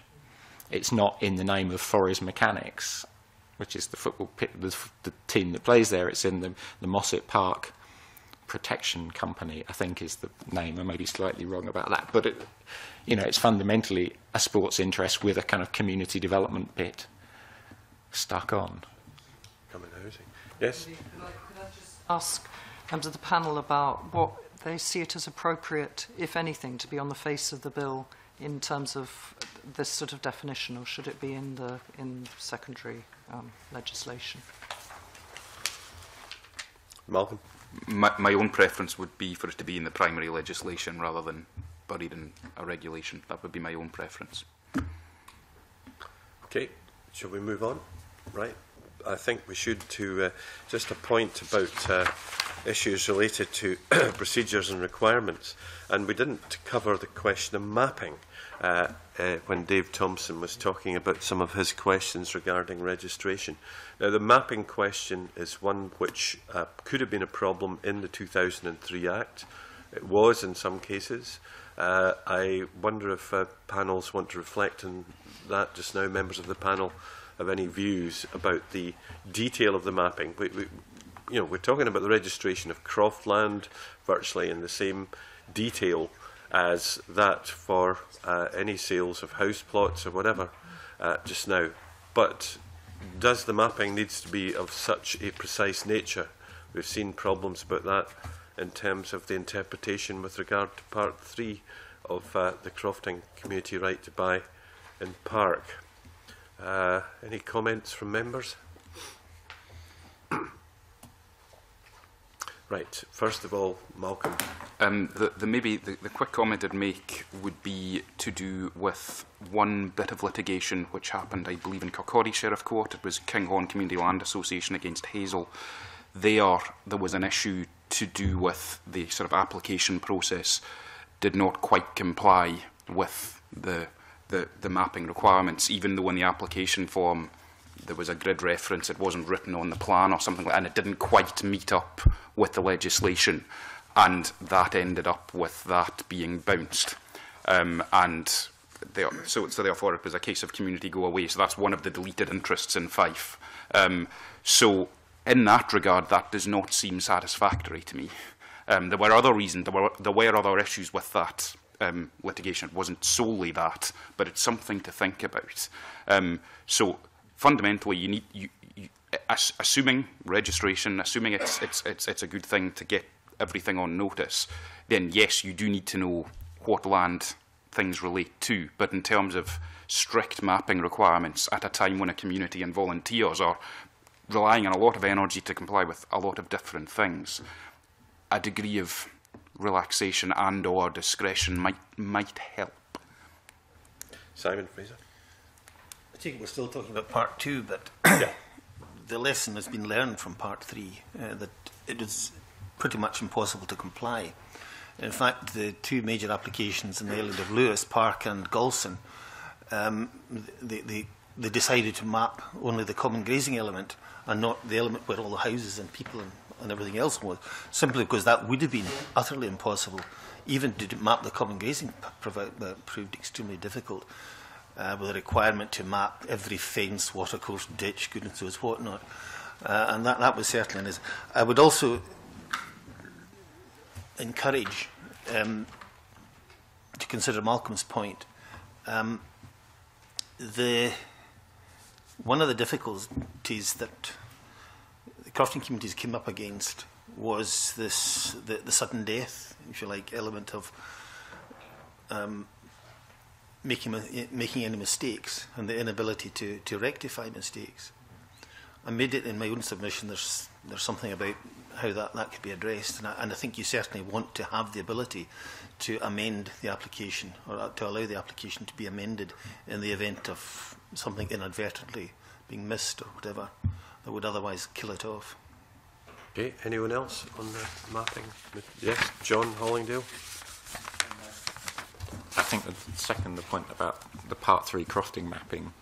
being seen widely as completely over the top and, and impossible to deliver perfectly the first time round on, on the scale of those estates. On terms of part two, it's very noticeable if you look through the documents on the Register of Community Interests that there isn't a, a sort of standard specification for how these maps are pulled up and they they all look a bit different different base maps are being used, they're demarcated in different ways, and, and it's because no one has sort of sat down and said this is actually how we want maps presented, and this is this is how you would map an area of 1,000 hectares, and this is how you would map an area of 0.01. And it really is like that. I mean, I think the smallest area is probably about the size of this committee room. Someone's gone through the registration process for. Um, and not having a standard model means that people are very much in the dark.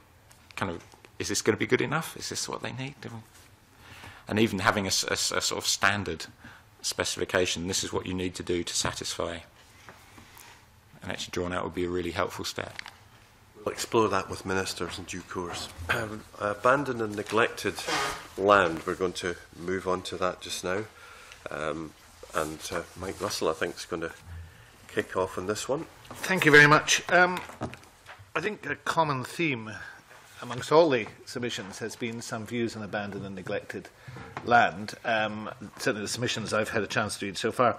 Malcolm described the term as suboptimal. Um, I'll just be interested on your reflections on what could be optimal in terms of uh, how this is described, whether uh, because wholly, the wholly and mainly abandoned and neglected definition isn't in the 2003 Act, of Crafting right to buy, what the motivation is for this, um, and some reflections on the difficulty of defining uh, such land uh, in circumstances which does not penalise owners or tenants or others who might be, have different views of how their land might want to, where they might want to operate their land. So I'm simply interested in those views to help the committee come to some mind on it. So Malcolm, for a start. Yeah. Um, so yes, I did say that the word abandoned is suboptimal, but I think there, there's probably there's four key words: the wholly, mainly, abandoned, neglected, and my suboptimal comment was specifically in related in relation to the technical meaning of the word abandoned in Scots law because when an owner abandons something, that means they are surrendering any right to it. Now, it's most easily visualised in the in the case of a corporeal movable object. So if I was to discard this jacket after this session in a fit of rage, then I would lose title to it and abandon property in that context, the, uh, under the rules of Scots law, it would, it would go to the Crown. Now, abandoned land is an issue at the moment in terms of there was a, there was a fairly, well, ob obviously you can't throw away land in the way you could throw away a movable item. And there was a recent case to do with uh, the liquidators of a Scottish coal company uh, where they tried to walk away from certain liabilities linked to the land. And the, the, the question of sort of whether you can sort of leave that abandoned and with a non-owner or whether the Crown would step in and whether via the Queen's and Lord Treasurer's remembrance or It, it's, it's a difficult one. I'm not going to give you a seminar on that just now. Um, but the very fact that abandoned might have a technical meaning to Scots lawyers in that context, to, to my mind, using it in legislation immediately leads to a little bit of ambiguity. Um, so whether you need to explain what you mean by abandoned or whether you need to use a different word to abandoned is something that I would ask for careful consideration of, because, as I say, it does have a technical meaning to Scots lawyers, Scots property lawyers. Um, so unused, underused, that I mean, the, these introduce different subjective tests, but at least they don't have the ambiguity factor, if that makes sense. So, uh, so do I have an optimal, optimal word? I was careful not to offer one in my own submission. Um, you then have the sort of the wholly or mainly to, to, to look at the, the, the rest of the, the discussion, uh, the rest of the phrase. Um, I suspect the wholly is probably easier to identify than the mainly, uh, because it, it seems to me there's a spectrum there with wholly being at one side, mainly being a little bit less than wholly. And I'm, again, it, eh, you, you don't want to say it's a chart of for lawyers or something like that, but you can imagine people having fun with arguments there. You can imagine people having fun um, neglected. I, it's also an interesting one because if a landowner came in with a view to create some kind of wilderness wildlife haven and planned purposefully to let land go back to its native state or something like that, has that been neglected? If that was his or her conscious choice to, to do that. So, as I say, it's it's it's difficult to to to to propose an optimal word. It's it's always easier to heckle, um, but I, I, in relation to the phraseology, I think specifically abandoned, I think should be carefully considered. Um, the other words need to be talked around. Sarah Jane.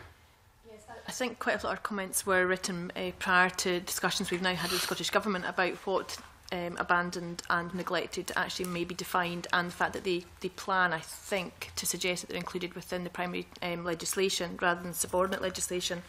Um, like Malcolm, we had real concerns about abandonment because originally we thought it was abandonment of ownership and, and, and had the same concerns as, as he did. My understanding is that what we're talking about here is abandonment um, from its original use.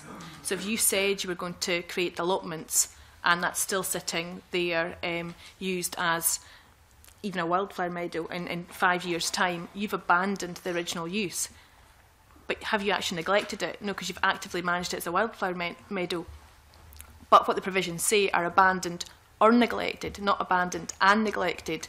So I, I, I think there's still a lot of confusion as to the circumstances under which this provision will actually be used. I mean, when we, when we talked around the table at community empowerment stakeholders, we were talking very much about blight sites. And I think we were all in agreement that there are blight sites across Scotland which do have to be addressed. But those were sites which were derelict, which were really having a, a, a significant detrimental impact on the environment or the safety um, of that community. And those ones were quite easy to, to, um, to identify. But I, I, speaking to um, a farmer recently, um, a small farmer down the borders, he runs um, a tiny wee flock of Jacob sheep on a very large field. And if I'm honest, just enough to meet his geek requirements. Now, he has been told by his community that they think he neglects the land. Um, they would like to see, I think they'd like to see it ploughed up to the up to the field margins, and so, so they can see that he's actively managing. But he is because he runs Pedigree Jacobs. But in their view, they look out and see a kind of scrubby field and a few sheep. So I, I think um, I think this is a, a very, very significant issue. I do have some concerns that we've not had had time to really go through exactly what this means in, in detail. And as I say, I think we talked about the policy memorandum. You think you know what you're getting with this, and then when you start playing it apart, it seems to indicate something entirely different. Okay, any others? John Holland?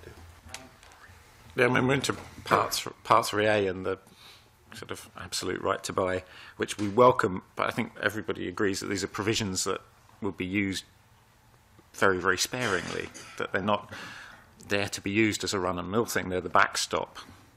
And that they're, you know, one of the, the ideal is that they are strong enough and credible enough that they facilitate compromise and negotiation and that settlements happen that way rather than actually having to, to force sales. But in order for that to happen, then they do have to be credible and believable that it is in everybody's interest to go to the negotiation process. And if they aren't, or that there appears to be too much wiggle room, then no one's going to take them seriously. And it's noticeable, you know, part three, the crofting community right to buy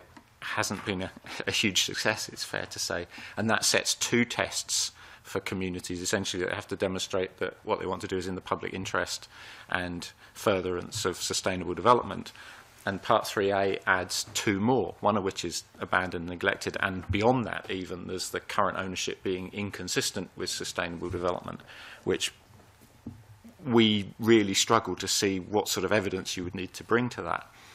But even with the abandoned and neglected, I think abandoned is probably the one word that everybody I've spoken to has a real issue with in this act, because it's very difficult to see how it would work. Um,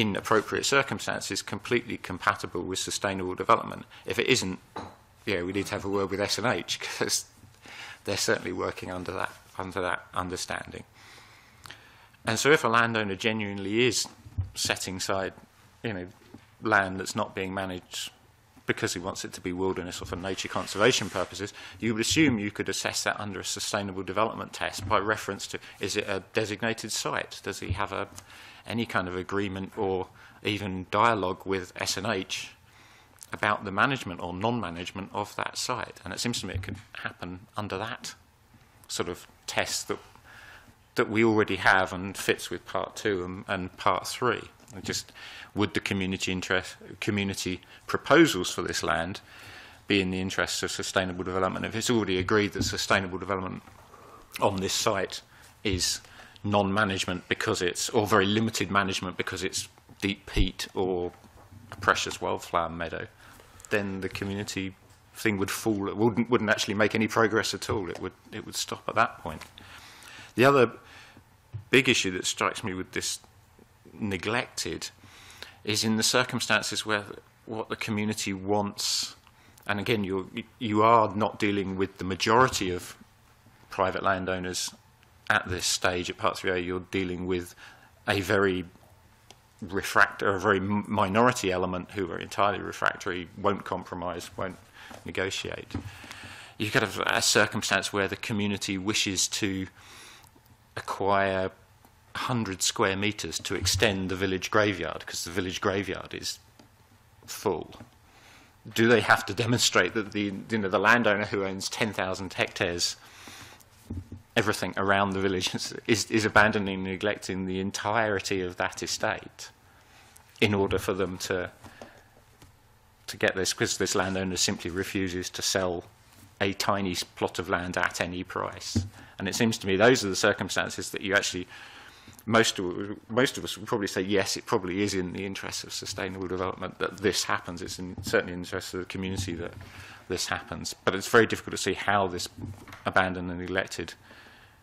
could be made to work in any circumstances. Rory Dutton. Nick John Stone will Smith under, but basically, yes, our question is, is it really workable? And you can see how in, a, in an urban context, which you're, you're talking about um, later on, you know, the neglect may be more evident, but we're struggling really to see how it can possibly be workable in a, in a, in a rural situation. And what I was going to suggest, which John's already suggested, if, if you move the basis on the rural area away from abandoned, neglected, to the, uh, you know, where there's compelling rural development um, benefits from a small, perhaps a small area, relative to uh, the impact that would have on the, the, the greater landholding of the owner, then that would be a far more useful um, mechanism for a rural area than trying to define neglected or abandoned or anything like that.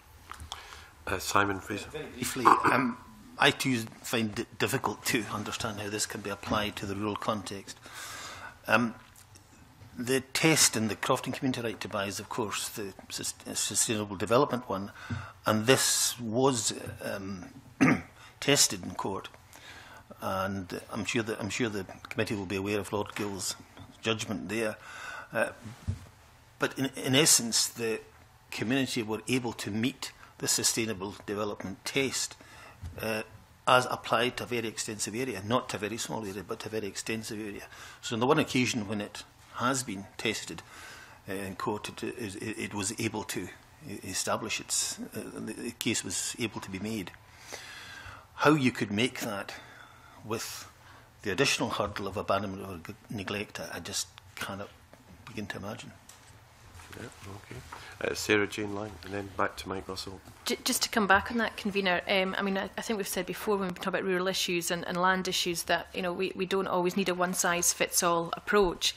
And if we're all in agreement that this works in urban areas but not rural areas, perhaps that, that what we're looking at is is, is a different approach um, in, in, in urban and, and, and rural for dealing with this specific issue. Okay. Can I just thank you? I, th I think that's been very helpful. I think you've, you've raised a question, even if you haven't actually got the answer to it, then that's, um, that's a useful step forward.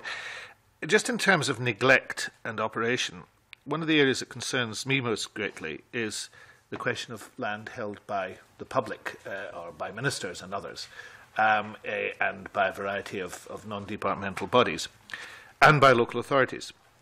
And local authorities are bound by best value requirements. They have no obligation to maintain buildings, but they have an obligation to try and get best value from them, as we've seen in some celebrated cases, for example, in Castle Tower in, in Argyll, which is a neglected building, costs a lot of money, but the council seems to have adopted a dog-in-the-manger attitude towards it. But the concept of who owns these buildings and how those buildings might be transferred to community or other uh, ownership without paying a full purchase price to the public purse itself and money circulating within the public realm strikes me as an important one to tackle if we are going to enable more communities to take control. Uh, it's a difficult one to see where it fits into the current legislation, but it will have to be confronted. Is there any thinking that any of you have about how we might confront it? Because it does seem to be the biggest barrier for many communities. Uh, who's first? Rory? Yeah. yeah I am just going to say that, you know, we do quite a lot of work with local authorities on asset transfers um, to communities. And we, we try and present it as it's a different scale of public ownership going to community rather than being at larger. But they, the local authorities, are probably aware, have the 2010 uh, um, regulation that allows them to dispose of for less than full consideration in the light of the wider value that it, that it brings to, um, you know, to to the public, if you like, to the communities. And we'd like to see that expanded uh, to the other owners. That said, um, increasingly, it's becoming increasingly hard for us to, um, to, to persuade local authorities that that is indeed the way forward. More and more local authorities are looking, particularly when the Scottish Land Fund came back on board, looking for looking to getting um, more like full market consideration for for for the products. But um, you know, we, we, we would you know, the community asset transfer in the, in the Scottish um, government's definition is about the transfer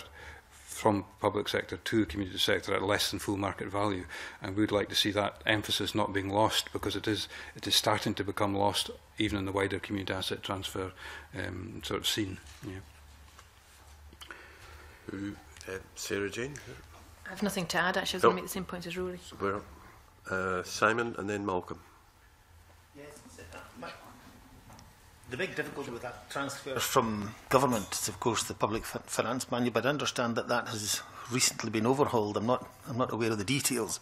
I'm not sure how far it's gone. And Mr Russell is, still bears the scars of West Harris and the attempt to pass that across from um, agriculture to the local community.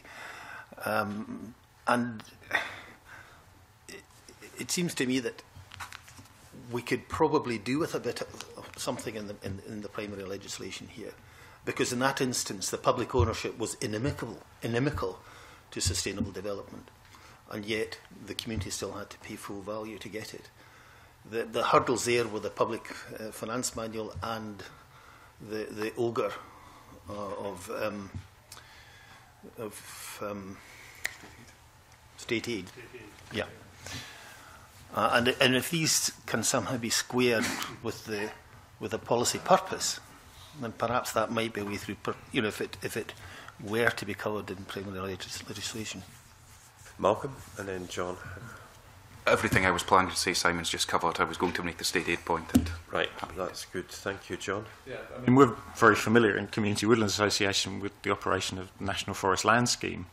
um, which in some ways mirrors but goes beyond what's available with the community right to buy, with communities attempting to acquire from Forestry Commission.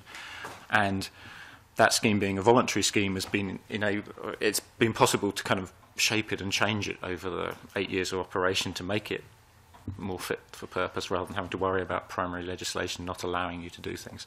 But it has always run up against money issues at the end of it and Forestry Commission's expectation that full market value um, would be paid, which has become increasingly difficult as forestry land has appreciated in value, partly as a consequence of, sort of 2008 economic difficulties. So that's a, a huge issue. I know we're getting into the other bit of the Community Empowerment Bill, but that part of the bill, the, the asset transfer bit, is pretty silent. It's one of their issues with that bill. It doesn't really explain how land will be valued and will it be a full market value? Will it be a, a value that takes cognizance of what the community intends to do with the bill? So in other words, is there a credit for the, the additional public benefit which all communities have to demonstrate that they're going to deliver, whether they're going through community rights to whatever, will that be somehow factored into the, the price? And so there's some big issues there. The other point I wanted to make with um, respect to the Land Reform Act is that the majority of the acquisitions that have happened using the community right to buy provisions to date have been from public bodies. It's, I think it's 9 out of 16. Some of those, some of the public, and, and a number of the registrations that are still sitting there waiting to be activated are also on public bodies like Argyll and Butte Council and Murray Council and so on.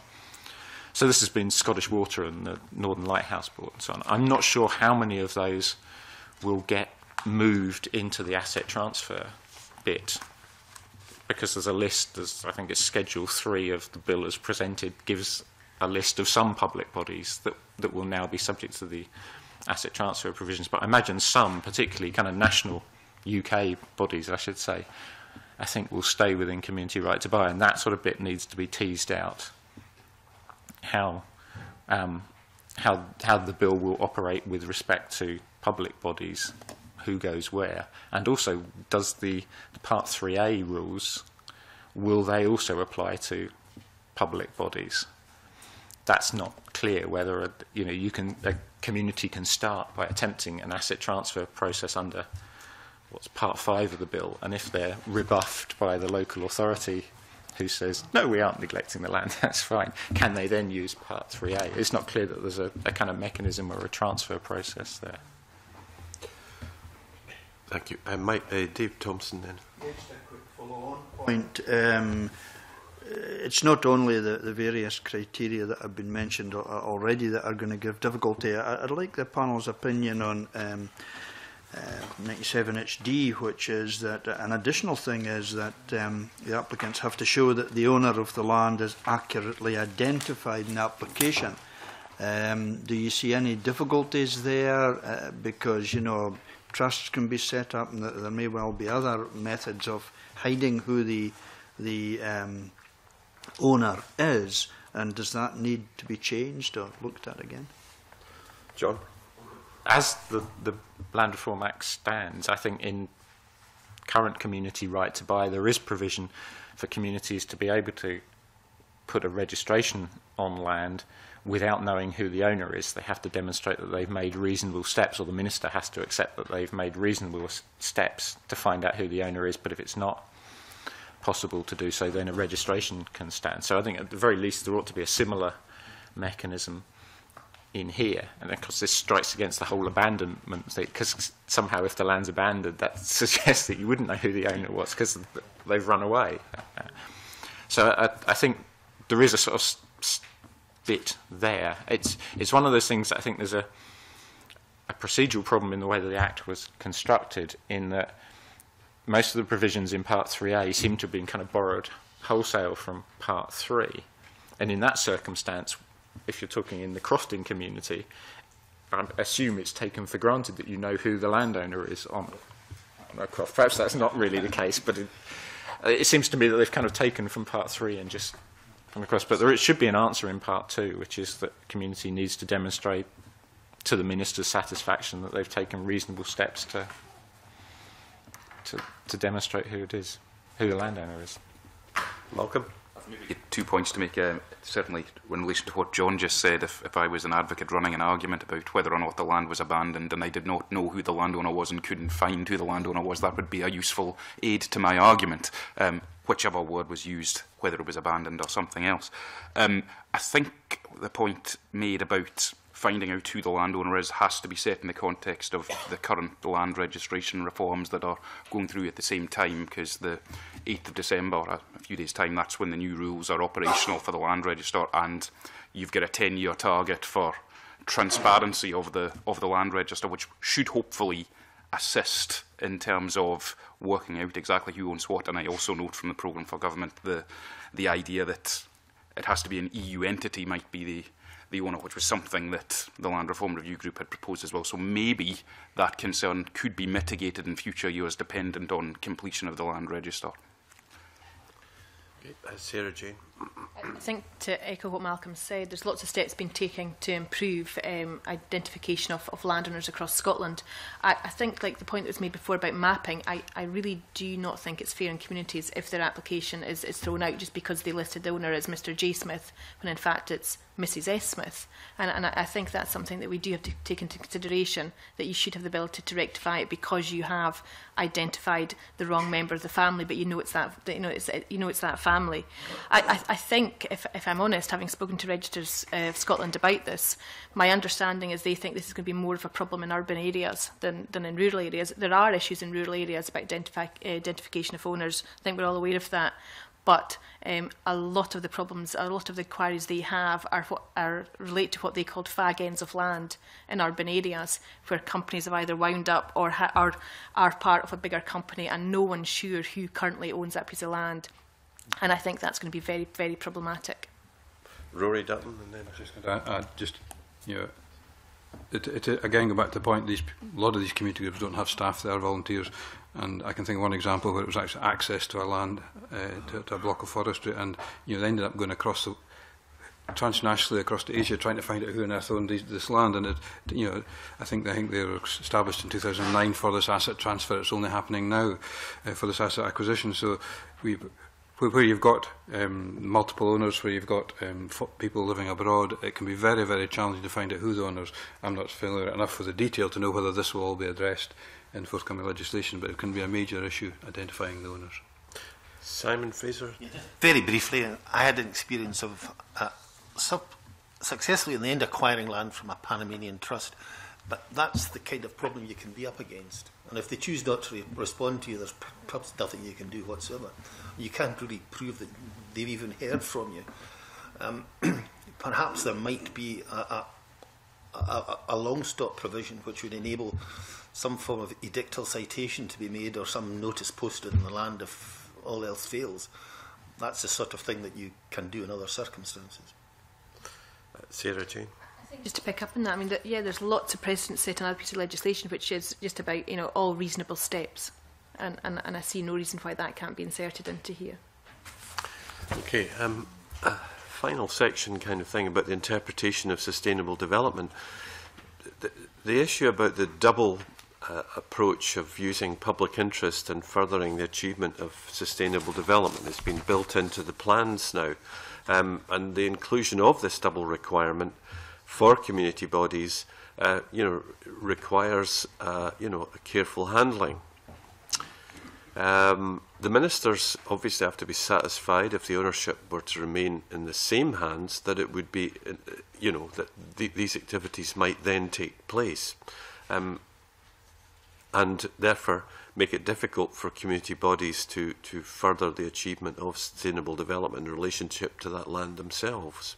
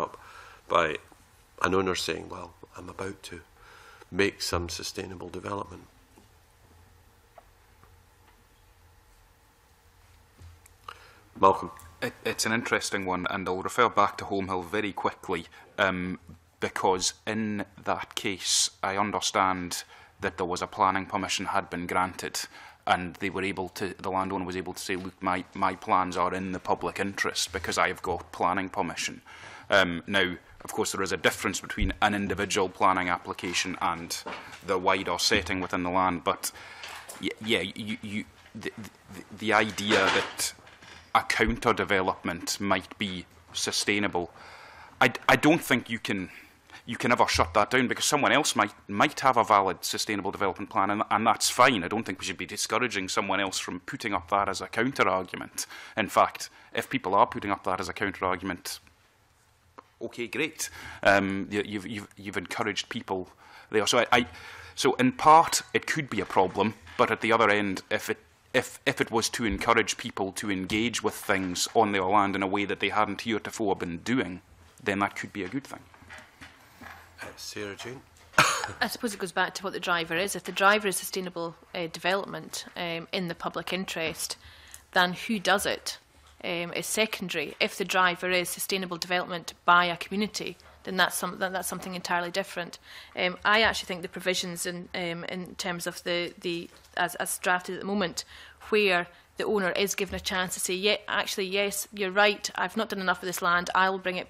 back into use for allotments are actually very positive because it means that private owners are, are given a chance to say, yes, I'm willing to, you know, to, to, to look at improving the productive use of my land. I think where it will um, have a real impact is on we've talked before about meanwhile use that you know, yes you may have a 10 year development plan but what are you going to do with that land in the, in, in the meanwhile and I think it might be sites like that uh, where landowners are quite keen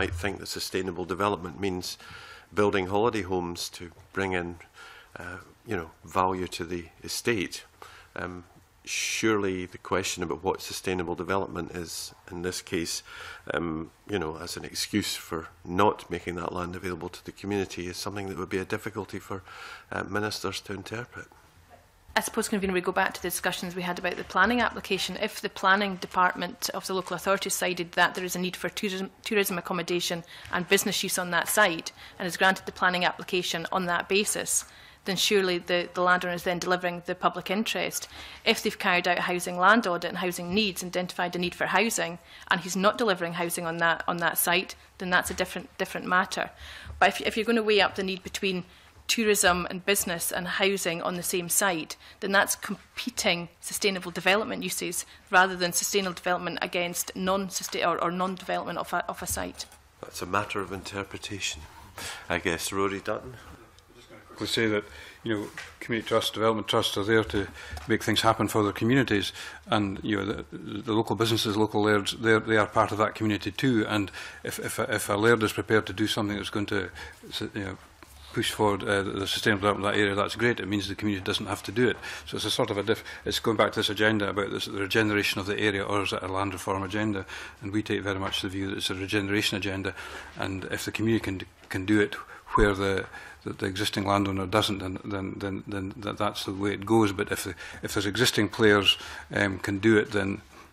and, and they can do it effectively, then, then that should that should be welcomed. Yeah.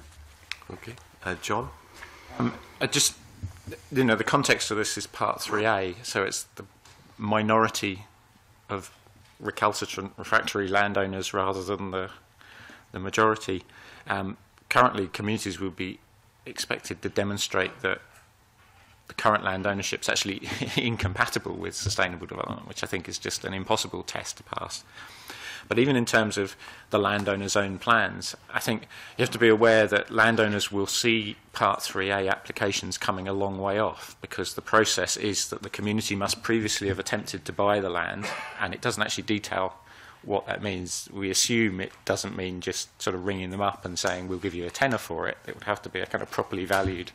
process. And then the community will have had to go through a ballot, which has, in, as presented, that's how the process works. So the landowner will have quite a window to know this is happening. And clearly, if it is that minority of recalcitrant landowners, there's an opportunity there to invent a scheme kind of out of thin air. So I think it's important that ministers have the ability to assess the credibility of the landowner's plans. And as you say, it may well be that they have very serious, sensible plans that either they're getting on with or they're waiting to get the finance together with and so on. And those are very good reasons why the community's request doesn't go ahead. But also it's important that it's not a mechanism by which a particularly recalcitrant landowner can simply frustrate the community objectives by pulling something off the shelf or having something that actually isn't all that credible. Indeed. Um, the complexities of this matter are uh, certainly uh, something which you've been able to explore with us, uh, and I thank you very much for that. It's very helpful indeed because we're going to be looking at urban contexts and ECHR issues to follow this, But, um, you know, when we reflect, we may come back to some of you for uh, clarification in any of these points, but it's been very helpful. Thank you to the panel for your evidence just now. Uh, I'm intending to take a break for about five minutes for a comfort break before we start the next session. Thank you.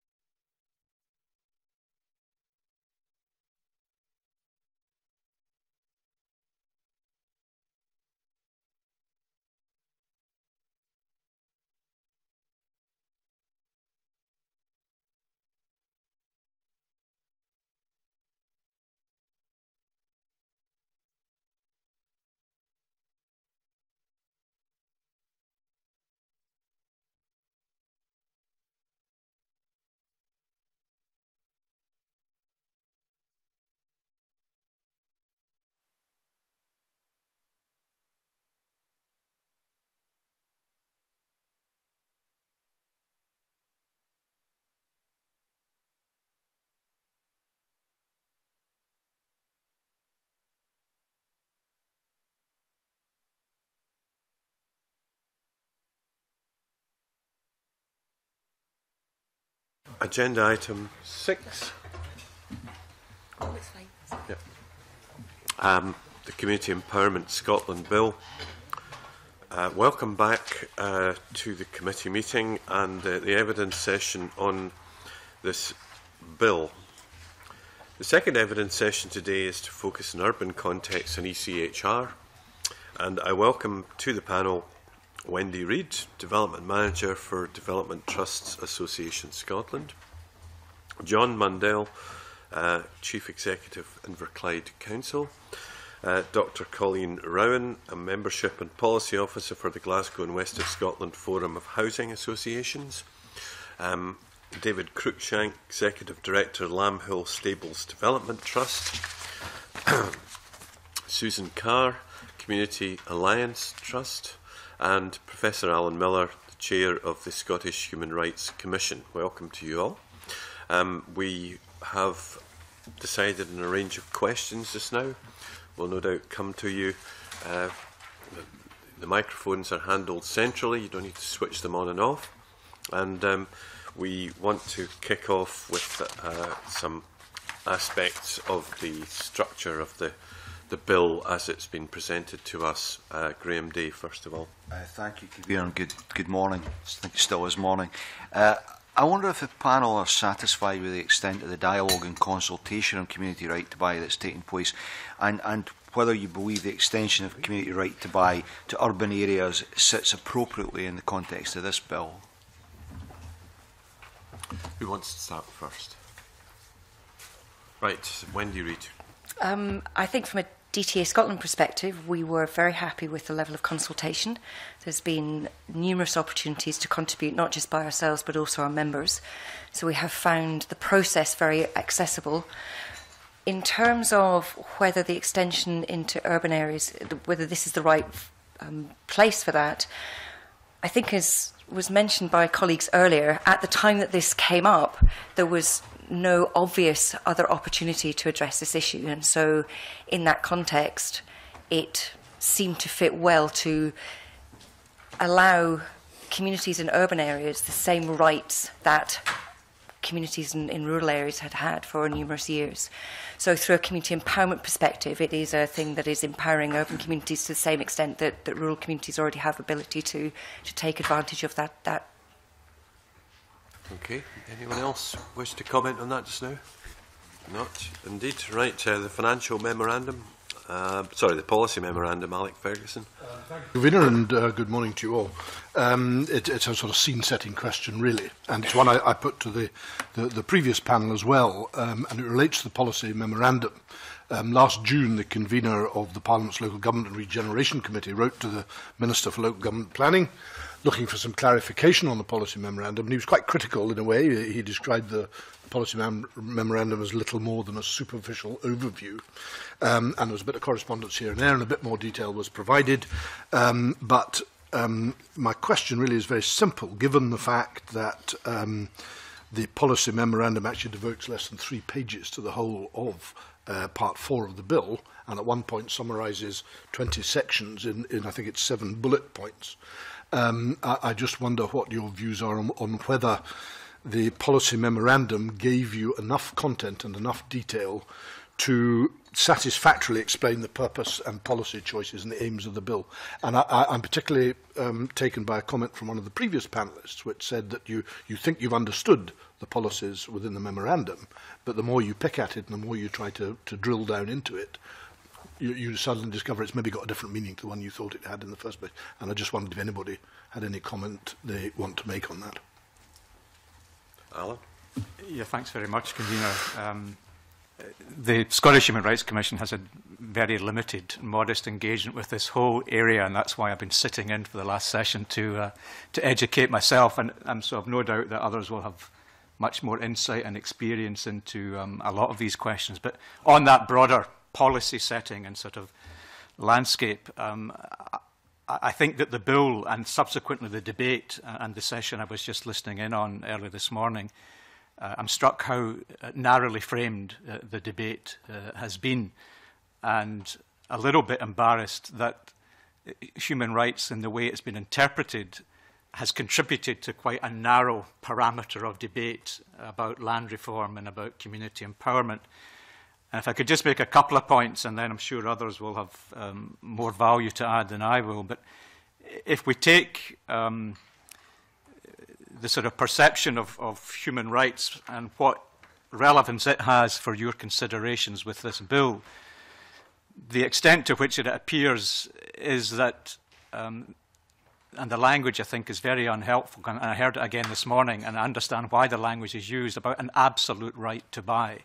Um, and that the European Convention uh, is not understood as actually providing a framework in which the legitimate rights of landowners and the public interest are reconciled and a balance is struck uh, with compensation if need be being provided to a landowner. But the right to buy is a qualified right. There has to be a competing public interest to override the right to peaceful enjoyment by someone who owns the land. And therefore, the language of a right to buy, an absolute right to buy, to me has the, sort of polarizes the debate in, a, in an unhelpful way and isn't, isn't a clear understanding of what the European Convention actually contributes um, in, in terms of this debate. But the bigger frustration I have with the policy framework um, is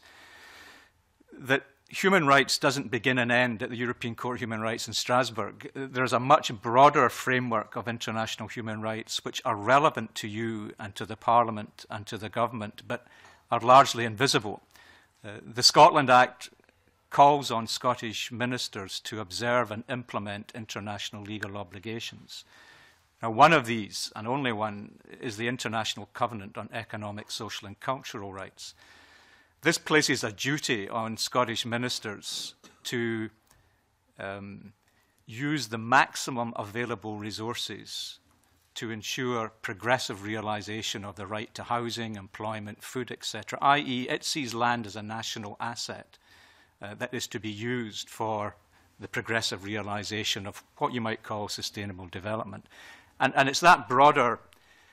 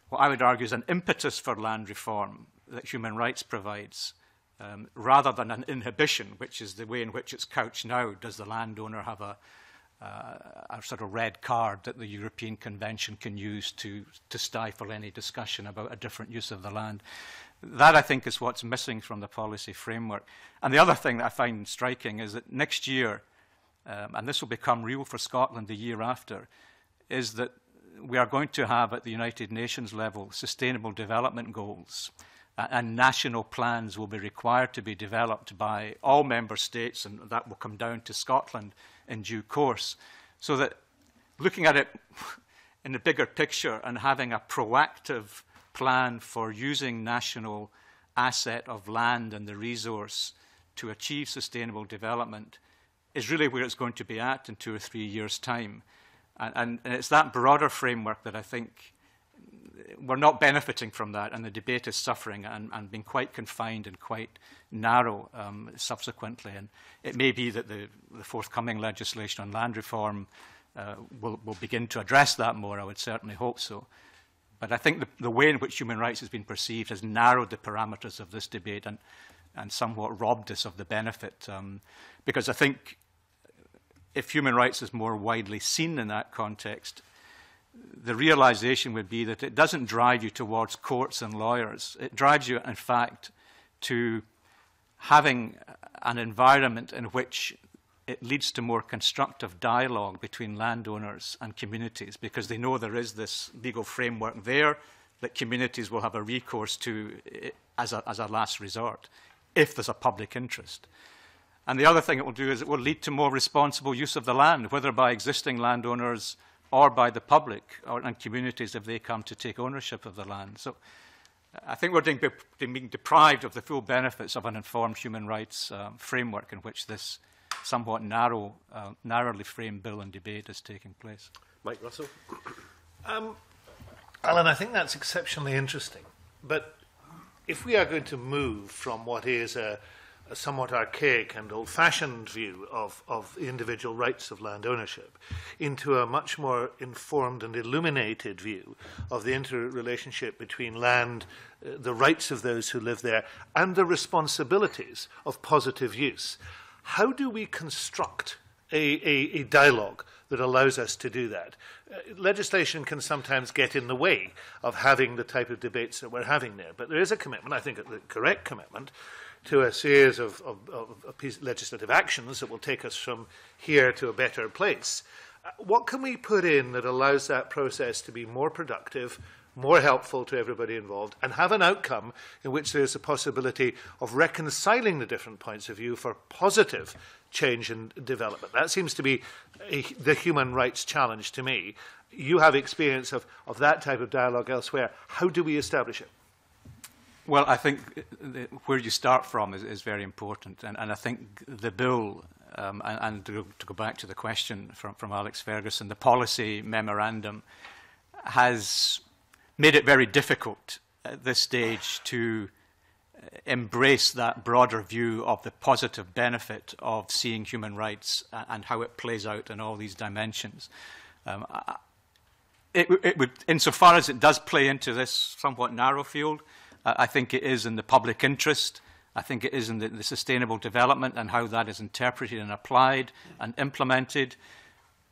But it's sort of being, it would be being shoehorned in. Um, it may be that further legislation to come, which perhaps sees a broader picture and a broader canvas, uh, would be the more appropriate.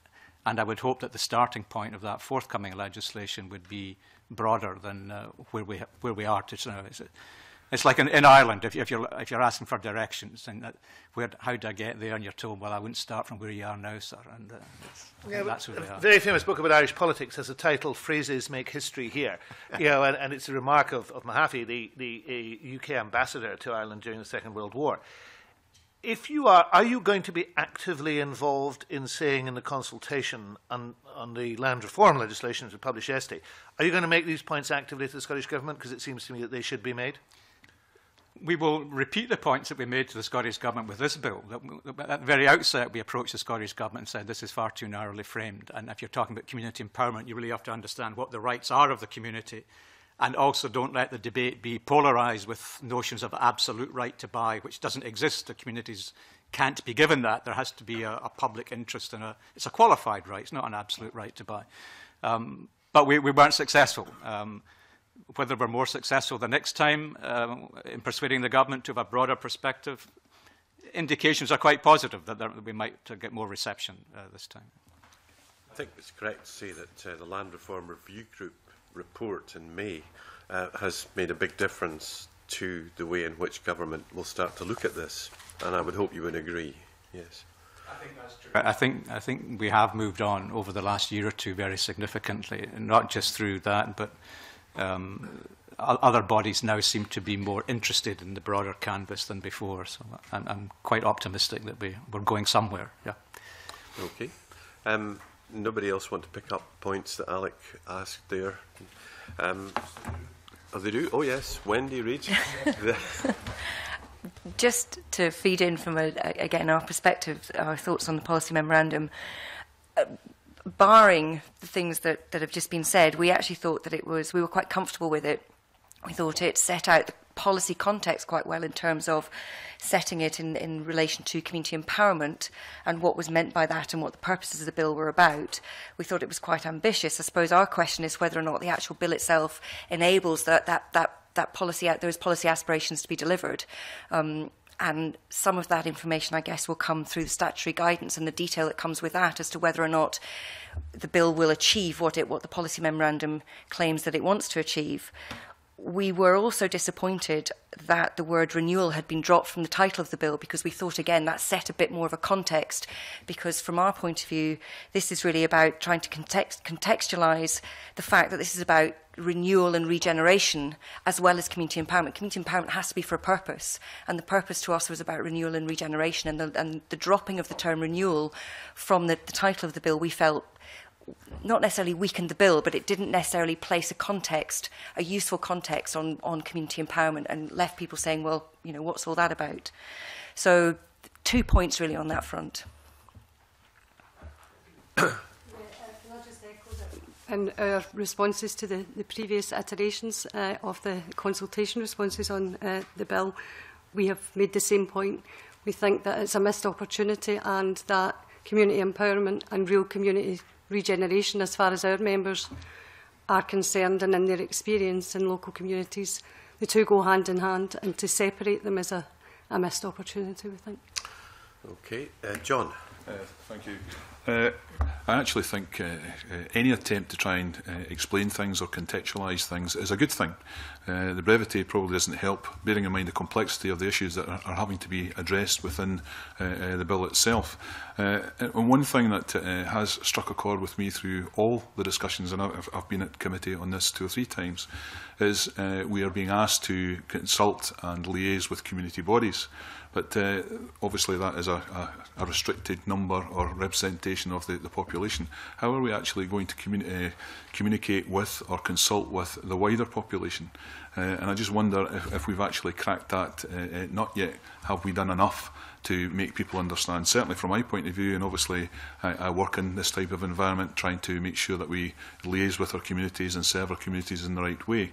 Uh, it's very complex, the document itself, and I'm not quite sure we've managed to simplify things enough so that uh, the normal members of the public who uh, are perhaps not immersed in it the same way as we are uh, have the ability to understand what the government is trying to achieve.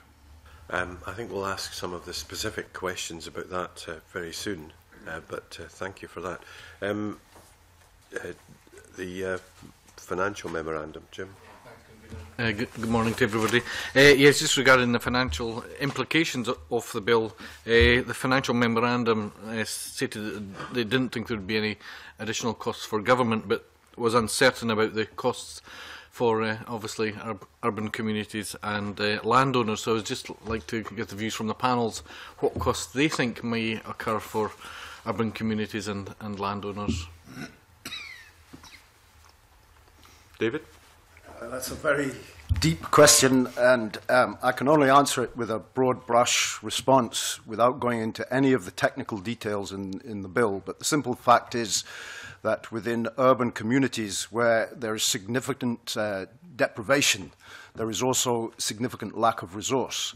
And there is no point in um, floating the possibility of ownership without resourcing it both from a capital perspective and an ongoing revenue perspective.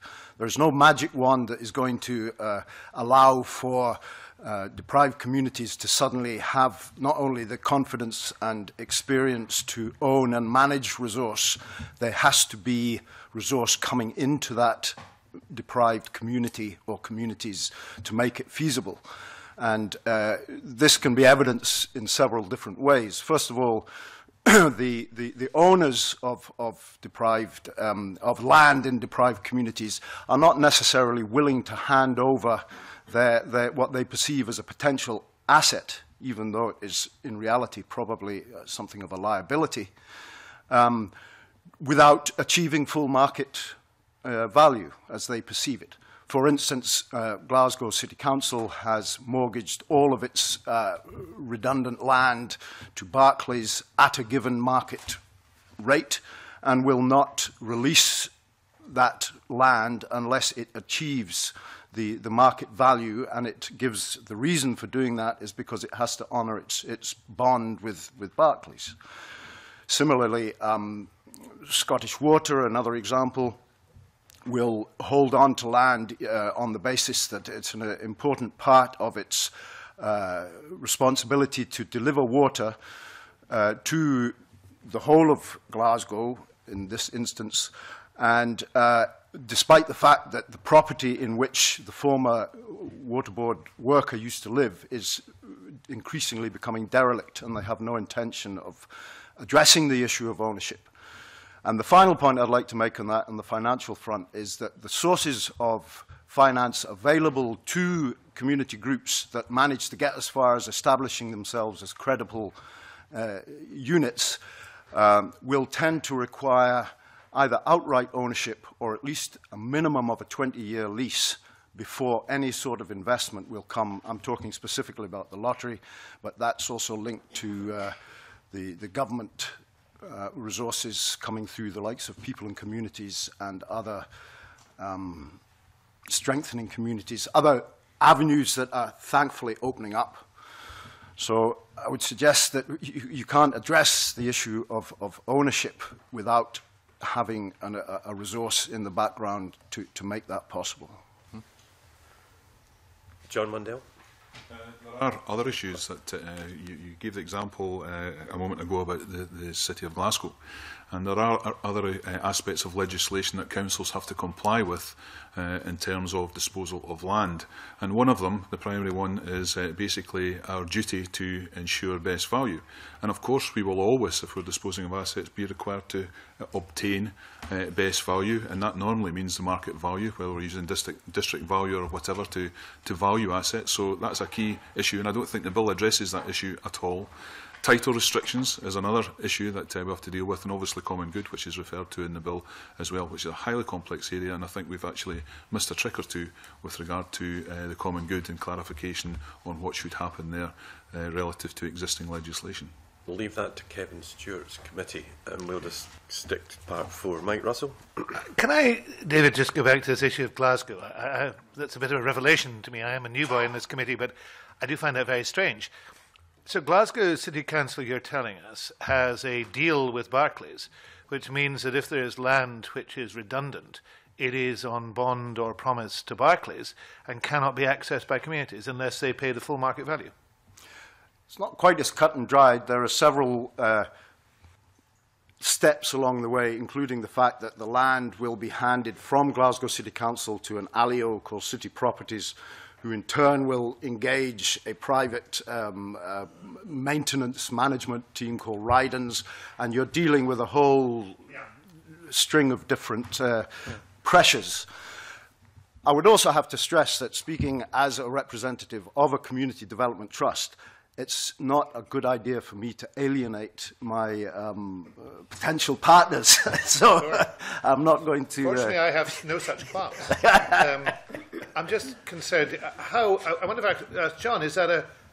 common arrangement, or is is that it's, across not, local authorities? Uh, not that I'm aware of, and it's certainly one that, uh, dare I say, I, it sounds uh, well it creates some discomfort. At least the thought of it, and I would have to understand it in greater detail. Well, inhibition to some of the ambitions within this bill, were that to be replicated in any other places. I mean, I have enough difficulties with our Garland Butte Council's attitude, which I shall come on to later, but this is odd.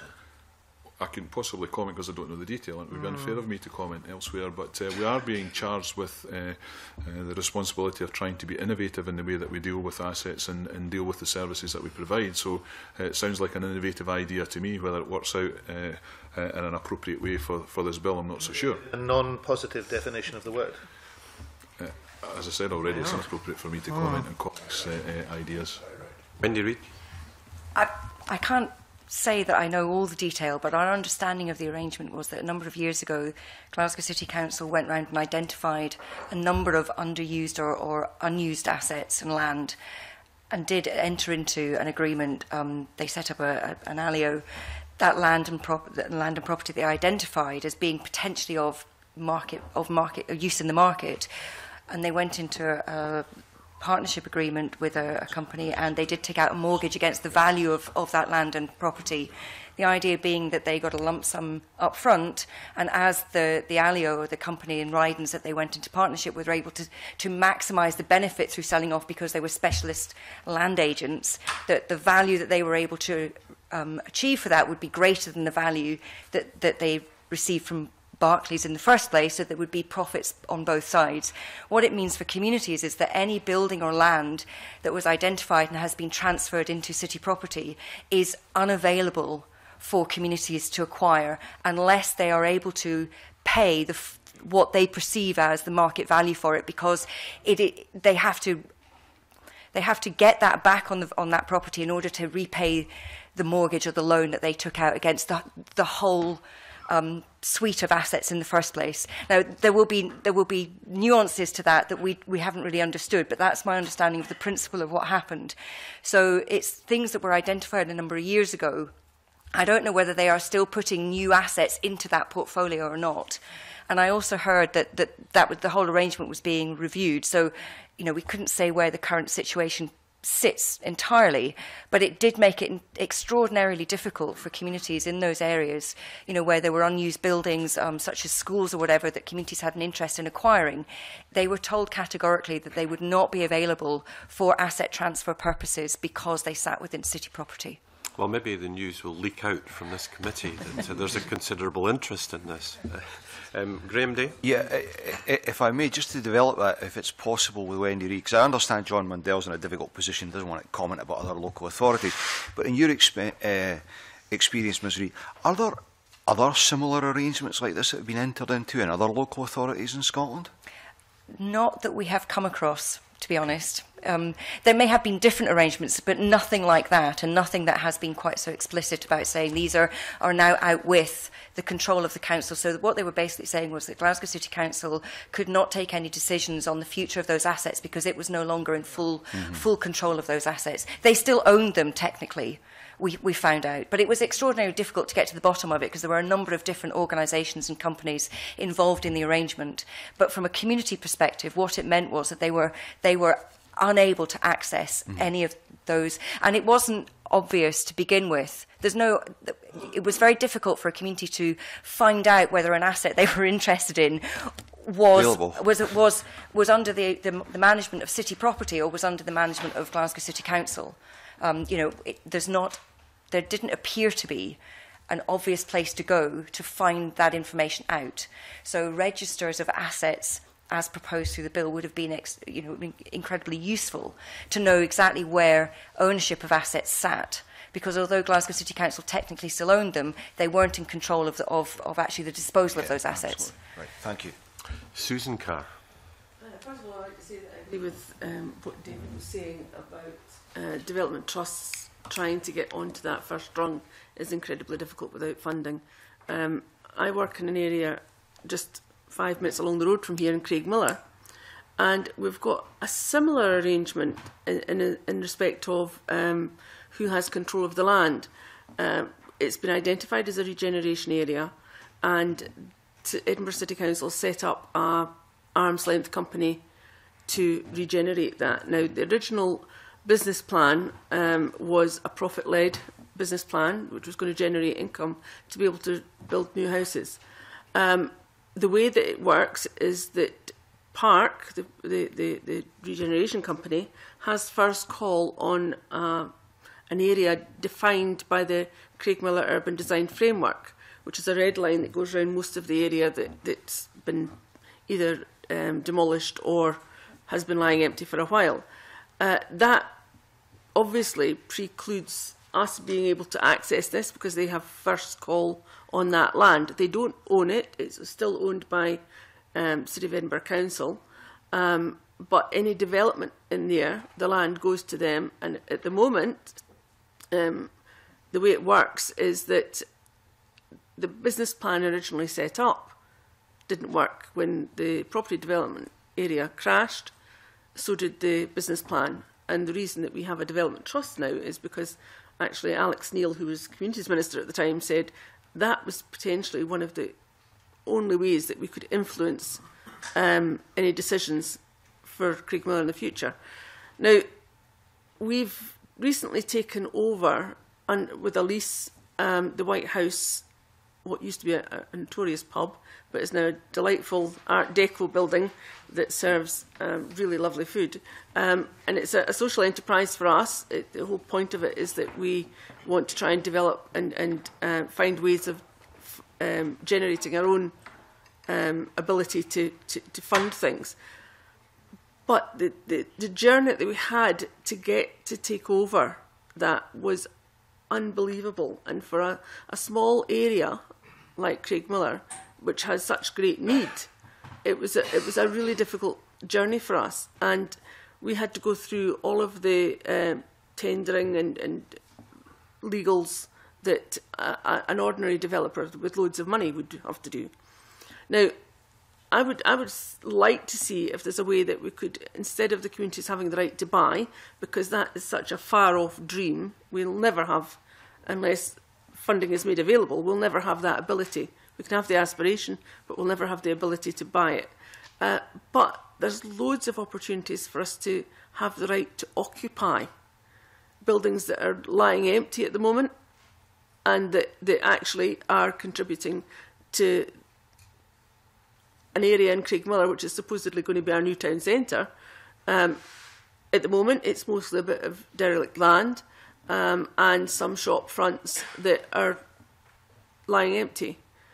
Some of the, the, the shop front, quite a sizable uh, building actually, is owned by the council and they are hoping that they're going to be able to um, let it at an affordable price for developers. But it's not affordable. £90,000 for a community group when it needs a lot of work is, is unattainable. But and I, and I suspect that most people won't want to um, look at it anyway, it's lying there contributing to the, the decay and um, situation that we have in Craigmiller at the moment, that people walk through it and pass it, but they don't actually look at it. It's never open. It looks uh, a disgrace. We could find a use for that, but we couldn't find £90,000 to fund it. It may well be that the discussion about local government taxation and uh, the way in which gap sites and neglected sites are taxed might force some changes, but that's up to another body and not this one. Alan Miller. Yes, very briefly. Thanks, Convener. I'm, I'm very interested in, in the Glasgow City Council um, issue because I think that that's something that, that could be very instructive. Um, I think we all would need to know more uh, information about that to understand what the significance of it is And I certainly understand John's inhibition from being critical of, of um, fellow uh, local authorities. And whilst I'm in a different position and could be, I actually have a lot of sympathy for local authorities because this does resonate with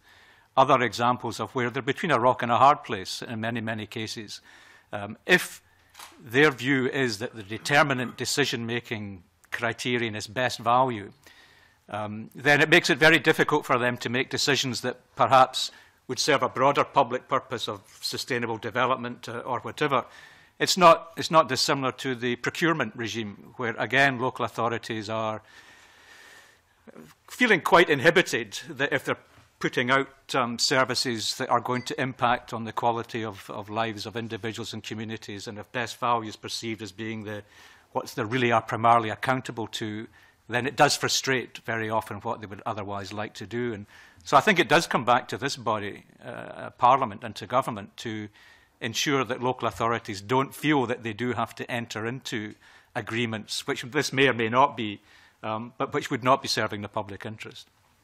Uh, Wendy Reid. Just a couple of points coming back to the initial question around financial implications. Um, but before I say that, I just want to come back on the whole issue of best value. It's, it, it's our understanding that best value is not necessarily about achieving best financial value, that there are other aspects that make up best value and that, that there are other considerations that can be taken into account. So it, it doesn't have to always, to achieve best value doesn't always have to mean that you have to get the highest financial um, return um, on disposal of an asset. So I just wanted to, to say that from our point of view, we always understood that that was the case. Whether that's actually... Um, taken into account in a lot of cases is another matter. And, and we understand that local authorities, particularly under increasing financial um, difficulties, so you can see why best value is often seen as, as financial, the best financial um, return. In terms of other financial implications of the bill, I think it's it's partly very hard to tell because it'll all be demand driven, which I'm sure you've heard before. I think from an urban context, um, one of the questions I suppose we have is at the moment rural communities are able to access the land fund in order to help them acquire assets. Will that land fund now be increased to cover urban areas as well as rural areas. I know the, the value of the land fund is going up, but actually are the criteria under which communities are eligible, is that going to change? And the other thing is, is there's a difference between um, financial implications in terms of being able to, to support enough organisations in terms of providing them with advice and support as opposed to um, enabling them to acquire resources to actually purchase assets. And there's two different things. There's a monetary implication and there's other implications in terms of, of the, the funding that goes out. There are things that are already in place and shouldn't change. For instance, the government is already supporting the Community Ownership Support Service, which is there to support any organisation and community organisation that is looking to acquire an asset, whether that be in an urban or rural context. So there are certain things that are already in place until we know how much extra business is going to, to come out of the changes through the Community Empowerment Bill. It's very difficult to know what other financial implications that will have. Evidence would suggest that the bill itself may not necessarily lead immediately to massive increases in, in, the, in the assets that are going into community ownership. I think it's more likely to, to, to lay down a marker than it is to, to lead to um, significant increases in transfer of property, uh, certainly within the first few years. So, Mike Russell. Yeah, I just want to, if I could tease this out about the best value, and, and because it relates also to the topic of abandoned derelict land, which we're going to come on to later on. There is some land, undoubtedly, in property, which a council will have paid for. They would have bought for a development or whatever, and therefore nobody would expect anybody to, to dispose of that land at a loss to the council. But there are very substantial assets that councils own which they have not paid for. which have been inherited uh, from a variety of reasons, a variety of people. Now, there needs to be, I think, a definition, and I'd be interested to see if we could come towards that definition, of types of land and also the costs to local authorities, because there is legislative opportunity for local authorities to dispense of assets which are not at best value if there is another definition, the community interest is one of those definitions. So, have councils the will to do so? I would think might, I'm not asking John to speak for every council in Scotland, but do local authorities have the will to encourage uh, transfer of assets to communities? And how can that be done in terms of things that Susan, for example, is identifying? Assets which are actually wasting assets. You know, the property you're referring to is costing a local authority money to maintain and to guard and to, to make sure it does not deteriorate. And, and usually, local authorities are failing to do so. And those assets are deteriorating. This is a much more complicated business. I don't want to disagree with Alan because I rarely do so, but it's a much more complicated issue than saying, let's just, a, a council has to do this. Property is often not well looked after. Property has not been purchased. The opportunity for communities to make more of it and to benefit communities and therefore the local authority area is great.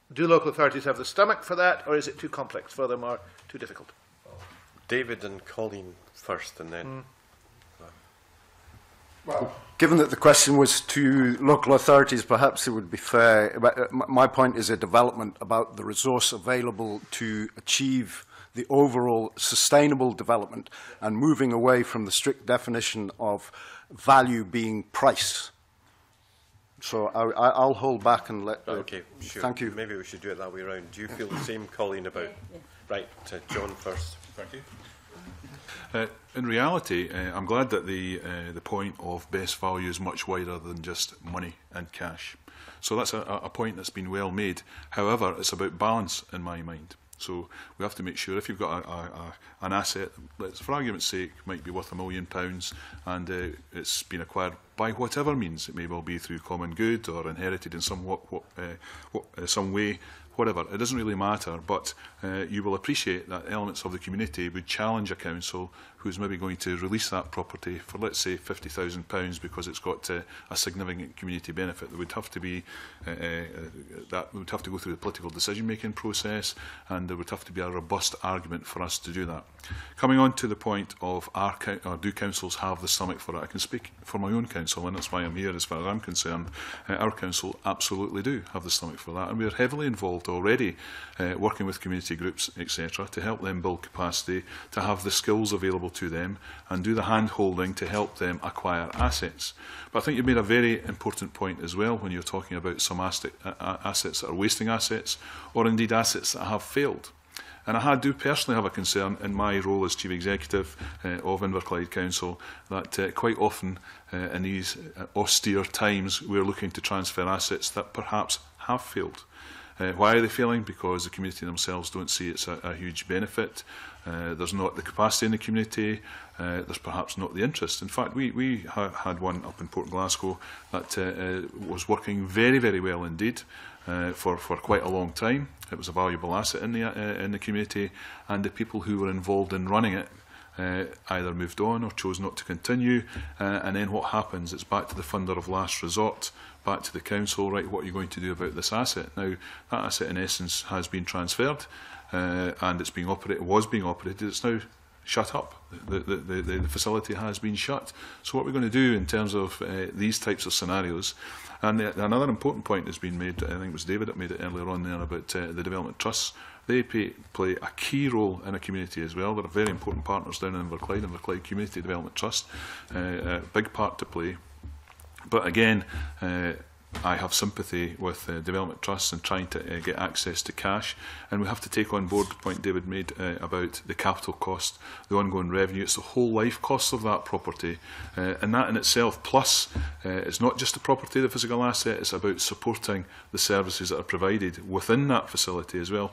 And in the current times, it's really, really difficult to, to do that balancing act. I'm sure you'll appreciate that, uh, where cash is getting tighter and tighter and tighter. So that's an important point. And uh, absolutely, without appropriate funds being made, the councils don't have them right, uh, uh, necessarily at the moment. And we've heard about the bureaucracy and all the rest of it, and the legal processes we have to go through for, for procurement, uh, best value. It's just a couple of examples. There's a huge amount, and I employ a team of lawyers. I have to employ a team of lawyers to make sure that uh, I go through that process and I'm reducing the risk for our council, but more importantly for our community, to make sure that our council is run in an appropriate way, as my peers do up and down the country. So, so there's a lot in that, uh, and it's very, very complicated. Thank you. From uh, Graham Day. Uh, thank you, Commissioner. Just an observation, because we're focusing very much on local authorities, which was inevitable after David Cruikshank's comment. But I suspect we, should, we could also be talking about the NHS as we see a move away from very old uh, traditional hospital buildings to, to you know maybe centralizing or building new facilities, they'll be in this situation. Perhaps Police Scotland will find themselves in this situation as they close small local police stations. So it isn't just the uh, local authorities we're dealing with here.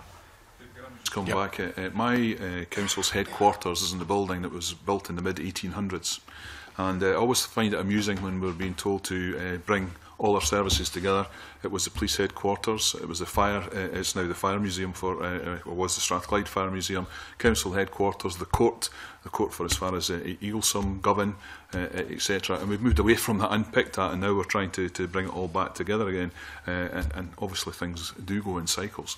But that's an important point. And, and issues like uh, the integration of health and social care, we did that uh, back in 2010. We've integrated ours anyway uh, uh, before. Yes, we've still got more to do with the, with the, the, the impending legislation legislation, etc., the changes that are, that are due.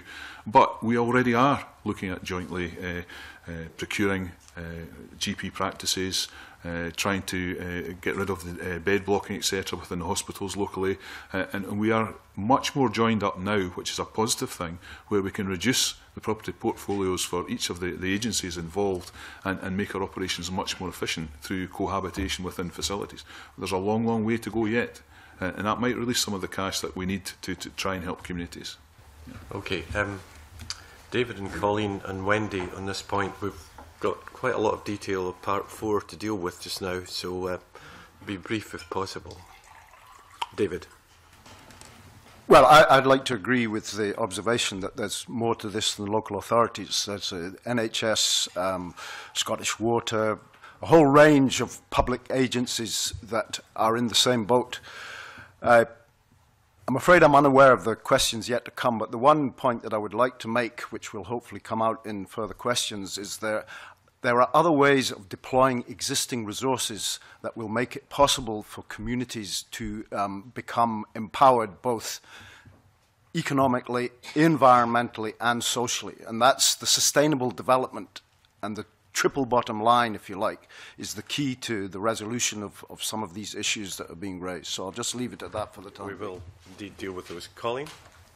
Um, I would like to uh, return to the Glasgow context and just from our uh, members' perspective, it's a, it's a mixed picture. Uh, some of our members work very well um, with Glasgow City Council um, and have taken over properties in their, their communities. Similarly, um, We work a lot with uh, the other third sector organisations in the city. And again, the picture is mixed here. And just to kind of go back to, to Susan's point about the right to occupy, uh, the alios sometimes work well with local organisations and again sometimes don't work well. And we hear stories all the time of the prohibitive leases that um, organisations have been asked to pay, which they, they simply can't, and also been asked to take over ongoing repairs and general maintenance. And these are all obstacles and barriers. I, I've just finished by saying John was talking about community development trusts, and we again work closely with them. But I think that the general community anchors in a community are the, the kind of mechanism um, that connects a lot of this activity, what the council is doing, what communities want, and these community anchors are really key and I think we've, we've reiterated that in our response. Wendy Reid. Just a very quick comment about um, other public sector assets and the reason why there's been less move movement of other public sector assets into community ownership is that um, according to the finance manual, those other public sector bodies do have to, to get best financial return, whereas local authorities have a bit of dispensation in that they can dispose of assets at less than market value through the 2010 um, Local Government Act. So I think that's why communities are very interested in other assets, but it's been easier to negotiate transfers of public sector, um, of local authority assets till now, um, because of that flexibility that, that there is for local authorities to, to dispose at less than market value or le less than best consideration. Okay. So it'd be interesting to see whether there's any review of the public sector finance manual to allow that other public sector bodies to have the same flexibility. Jim Hume, back to you. Yeah, quite, a, quite a long while. Just to, it's more or less a comment, I suppose, but I think we've obviously opened up a can of worms, and to put it mildly, I think also um, you said it was a, a mixed picture so from, from different public bodies about the interpretation of what best value is. So I think, I'm sure in our deliberations, I think we'll want to explore further if this is just a Glasgow situation and if across other local authorities there's similar and uh, obviously how perhaps other local authorities and public bodies are interpreting what's best value, whether it's purely a financial accounting or best value for community. So I think we can probably move on. Oh, we, we can indeed, thank you. Uh, Angus MacDonald. Uh, uh, thanks, Convener. Um, just before we do move on, uh, just picking up on Colleen, uh, Colleen's point, uh, I would certainly agree that not all alios uh, benefit the local communities that they're supposed to be representing. Um, if we can uh, stick with the financial memorandum, um, uh, just uh, temporarily, um, if, if we do see demand uh, on the Scottish Land Fund budget uh, grow with the extension of community right to buy uh, to urban Scotland.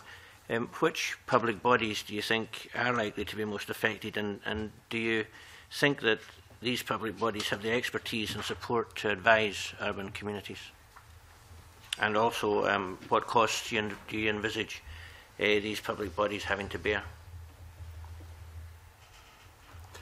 David. Well, uh, first of all, I would have to refer you to, to the Development Trust Association Scotland, which is uh, set up specifically to deal with these kind of issues. Um, I'm a member, I'm also on the board of it. So um, I'll leave Wendy to, to, to specify more exactly the, the role that development Trust can play. In terms of um, the ability to resource and, and sustain community initiatives, and we're talking about community empowerment and renewal, presumably within the context of land reform, I think one of the opportunities that is opening up, and this will open another can of worms, is that particularly in deprived communities where people are dependent on benefit, uh, and, and currently administered through DWP, presumably, that there is a way of redeploying that resource where that can serve as a foundation for employment opportunities for people in that community and be built on in such a way that people are not afraid of losing their basic human rights uh, in terms of housing and, and basic money for food, etc. And I think there's an opportunity in, in cultivating communities uh, um, which is which is about the, the renewal and the regeneration in in using that resource far more positively than it currently is used.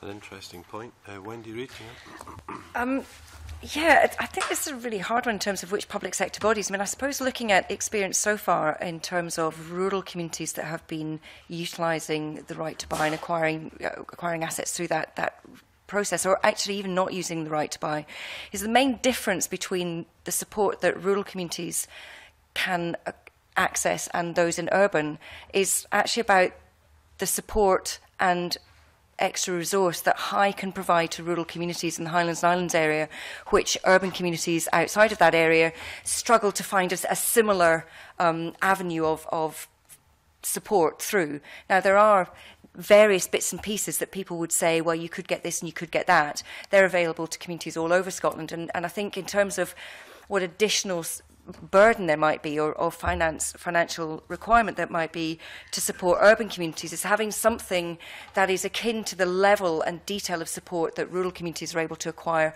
particularly around business planning and, and other aspects through high and the additional finances that high can give to um, asset acquisition projects that, that other, uh, particularly urban communities, are not able to acquire at the minute or access at the minute. Okay, thank you. Um, you know, clearly, uh, as we've heard uh, from a number of uh, contributors today, that uh, finance will be will be an issue. Are you aware of any um, funding schemes that are currently available to uh, urban communities, and what additional support is likely uh, to be required to meet the, the anticipated increase in uh, applications? Yeah, we, um, we could never put figures on it, but at the moment, all communities are able to access big lottery money if you're looking to acquire an asset. That funding is available now, but their programs are up for review. We don't know whether or not the Growing Community Assets Fund will still be the Growing Community Assets Fund this time next year. Um, I would be very surprised. I think we would all be very surprised if there wasn't an if, if ongoing lottery funds didn't contain some strand of funding that enabled communities to, to acquire and develop and, and manage assets. But who knows what that's going to look like, and who knows what sums are going to be available through it. Um, for urban communities in particular, it, they're you know they, they're not able to access leader funding because that's again for rural. So I think there's less opportunity for um, urban communities to acquire money specifically around um, asset acquisition than there, than there is for rural communities. If the Scottish Land Fund is going to be um, broadened to enable urban communities to utilise it, then, then that answers part of that question. Not sure whether that's going to happen or not. Um, there may have been some statement about it uh, and that I'm unaware of. Um, I think there are bits of money sometimes within local authorities that people can acquire, but there's nothing specifically for urban communities that rural communities can't access, whereas there is the other way around at the moment. Okay, game shooting rates and so on and uh, are being discussed about being uh, reintroduced or the exemption from yep. non-domestic rates. So they're mm-hmm. looking for a top-up of the land fund from that. Yeah, it's whether, it's whether urban communities will be able to apply to the land fund because up until now it's really been through through definition it's been a rural um, a thing for rural communities, not urban communities. Oh, we, we will check that out. With Thank you, Susan. I suppose the comment I want to make is really it's a bit chicken and egg because um, if you go for a big lottery funding application, you have to have in place um, a, a lease of at least 25 years Uh, and to negotiate that, you need funding to be able to get lawyers to support you. So it is chicken and egg stuff because you, you can't just go in and, especially a community like ours uh, in Craig Miller, which is a deprived, we've been in a situation where for years and years people make decisions for us and have done and still are.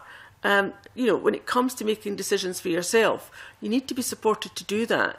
And quite frankly, the idea of taking on a 25-year lease and, and the, the, the ability to fund that is, is a bit overwhelming for some communities. They just don't know where to start. So until you actually give somebody that first step up the ladder, um, it, it's going to be very difficult for people in deprived areas to accept that they have the ability to do this.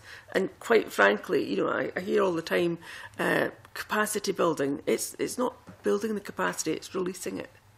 And that's what really needs to happen. It's there, it just isn't released. There's too many barriers for people to get past. Okay, thank you. Um, I think we'll move on to the nature of land and uh, so on. Cara Hilton. Thank you, Convener. Good morning, panel. Um, my question ties in a bit to what Susan Carr and Wendy Reid have already talked about. Um, I'd be keen to hear more about how the community right to buy will empower communities in urban areas and make a real difference to people. Um, how, will it, how will it help community confidence, cohesion and sustainability? And when um, Susan and Wendy talked about the, the funding challenges that face urban communities. Are there any other issues and challenges that particularly affect urban communities and also any sort of practical problems um, such as Barham, the one that we heard in Glasgow, so issues such as like how likely is it that community bodies in urban areas could use the new rights to register interest in land that's already subject to a development proposal, just as a way of sort of blocking any development. And I wonder if you would agree as well that one of the unintended consequences of the bill could be an increase in inequalities between communities. Sorry, it's a bit long. That's all right. Let's go. John? Uh, I think that uh, there are significant inequalities within our communities already. And there are impoverished areas which uh, uh, certainly I see as uh, the primary part of my job is to make sure that we try and uh, balance the skills for people who are most disadvantaged. So I, I think there are positives within the bill, but I think technically there are changes that need to be made within the bill to try and help us achieve that. And I've certainly included that in my, my written submission, and uh, I, I think these things need to be taken on board. Uh, up in Kilmacombe, which is one of the, the, the best healed areas uh, that exists in Scotland, basically, is within my council area, they, they had uh, the capacity released. Uh, I take on board the point that's been mentioned and I, uh, uh, I understand that. Uh, but they had the skills within the community already and it was a limited uh, level of inter intervention that had to be uh, uh, made by the council in that respect. Yes, we went through a whole process and there's power struggles within the community group, that type of thing, until, until things settled down. But it's highly successful in an asset that the council had not managed to continue uh, and investments being made through uh, uh, a, a cocktail of funding through a bid process and all the rest of it. So that's been highly successful but in some other other areas uh, the people who are more disadvantaged and I absolutely recognise there's a lot of enthusiasm, a lot of pride in these communities as well but they do need the support because the skills don't necessarily exist in that area and there's a greater level of intervention required by councils. So anything within the bill that helps us tackle that type of issue has to be a positive thing. But as I've said already, there are a number of technical issues that need to be addressed that I've written, up, written uh, sub, in my written submission, uh, and I'd like to see that dealt with. Susan? Yeah, I'd like to go back to something that was talked about earlier, and that's sustainability.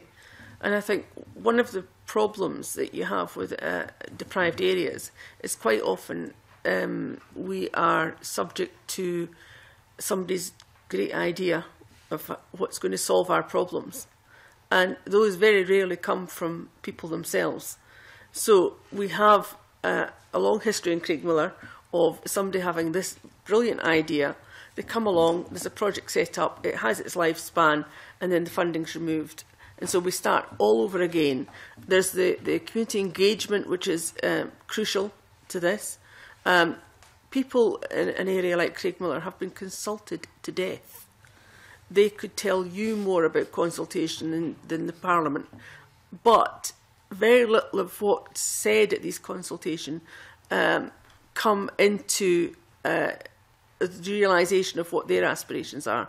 It nearly always gets twisted. I mean, it's it's like the funding that we can apply. We have to apply for the funding that people are prepared to give us um, for the activities that they want us to do. And I would argue that actually, if you um, empowered people to come up with their own ideas about what the solutions are, then we would have a much better sustainable future for that community.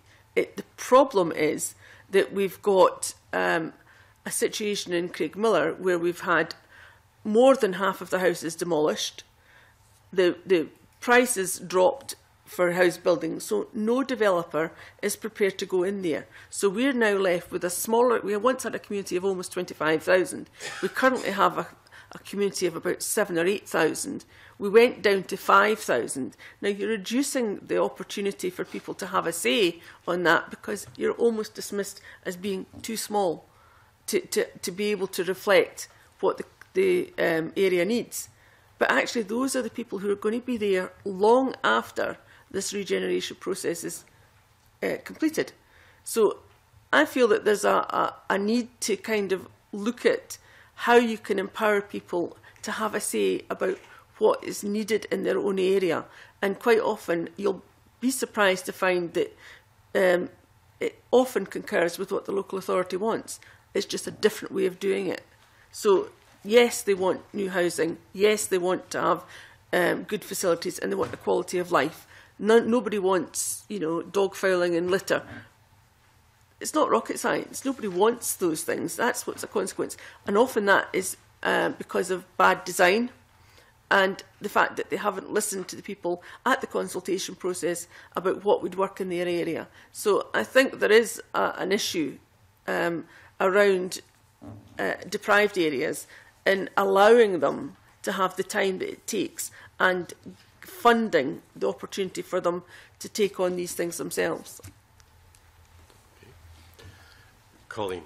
I feel I need to come in here and say that um, our model, uh, our members' model, uh, is community-based housing associations is predicated on local people leading and local people making decisions at that micro neighbourhood level about what's needed in their own communities. I'm certainly not suggesting that you know, CCHAs are a universal panacea or a silver bullet that have solved, um, you know, all the problems. In fact, um, our communities and mostly our members operate in deprived communities.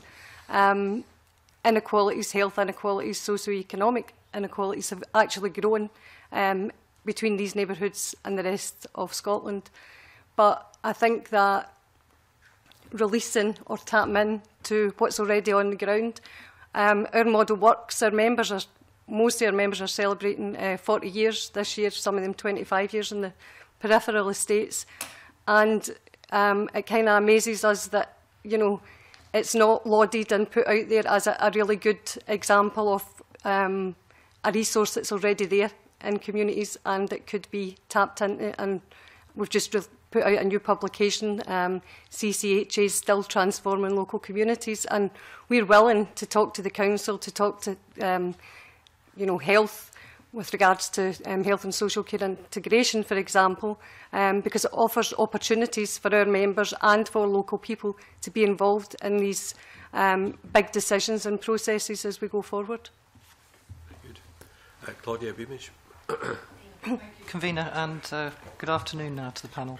Uh, in terms of moving the discussion forward, I'd like to delve as, as deeply and indeed as broadly as we can into the meaning of community, which is obviously very complex and, and difficult um, and relates both to place and interest. And, and uh, I'm not going to go back to the um, section 34 of the um, 2003 Act, because I think in terms of what the committee would value in hearing from yourselves is your perceptions and your experience and knowledge of where you think this should be going for, for the Community Empowerment Bill.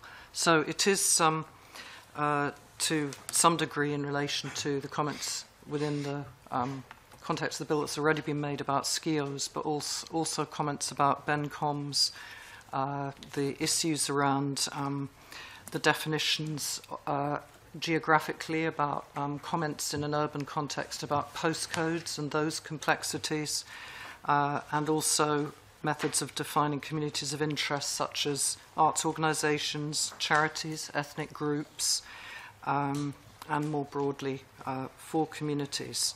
Uh, also, the, the list is, is perhaps as, as never ending as one's imagination, but also issues have been very challenging around finding land to grow things and allotments, um, allotment societies.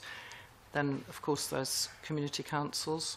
So I, I'm putting all that on the table and asking if you can give any thoughts about whether definitions have to be in relation to specific legal entities or whether there might be um, other ways of defining um, community that would be helpful in taking forward the regeneration and the, and the issues that we've been discussing. Who wants to start? John? Yep. Uh, a very challenging question or questions. Uh, to me, uh, in probably the most simple uh, terms, uh, the meaning of community to me is about the people who live together and the relationships that uh, exist between the people in that community, how they interact, how they uh, uh, live in that area and how they make the environment they live uh, uh, habitable and pleasant for, for all that are there. Uh, that's my interpretation of it. Uh, I can't remember all all the parts of your your, your question, but uh, there, there are. I would like to comment on uh, your reference to the skios. Uh, one thing in the bill there is talking about uh, must not have fewer than 20 members. Uh, Eh, I think that's particularly restrictive. We have a couple of SCIOs who eh, are eh, working very, very well. One has eight and one has ten members. and if we're now going to be saying that, sorry, you don't get you don't have 20 folk round the table uh, we know what you're wanting to achieve in this area and we're doing everything we possibly can but somebody uh, an ivory tower has said you've got to have 20 members well we don't have 20 members but uh, we're an active uh, progressive community here uh, and we want to make things happen and they can't because they're barred from it. So that's an issue that needs to be addressed in the bill. Does it have to be as prescriptive as having a minimum of 20 people or 20 members on, on a scale?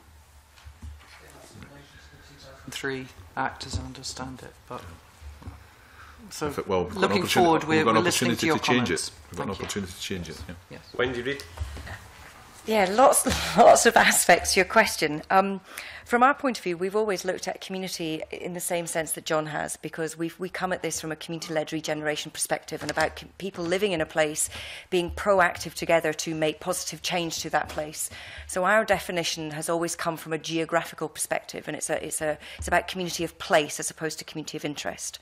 I'm, I'm not really able to comment on the community of interest side because that's not something that we've ever really gotten too involved with.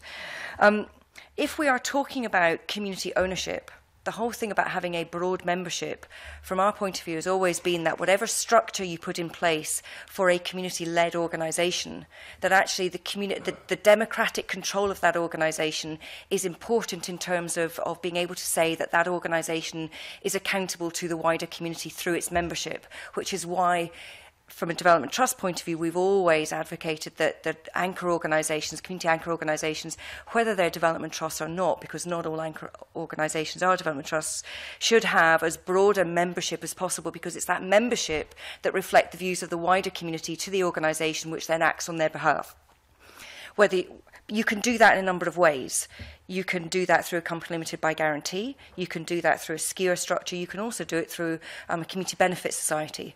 Because in all of those structures, you can you can have the values representative of democratic accountability, of membership, of um, you know being voted. So the other thing about being community-led from our point of view is that the members should have an ability to get elected onto the governing body of the organisation. So there's true ownership within the community of that of that organisation. You can, as I say, you can achieve that through a number of different structures, um, which is why we have always argued that that you shouldn't limit.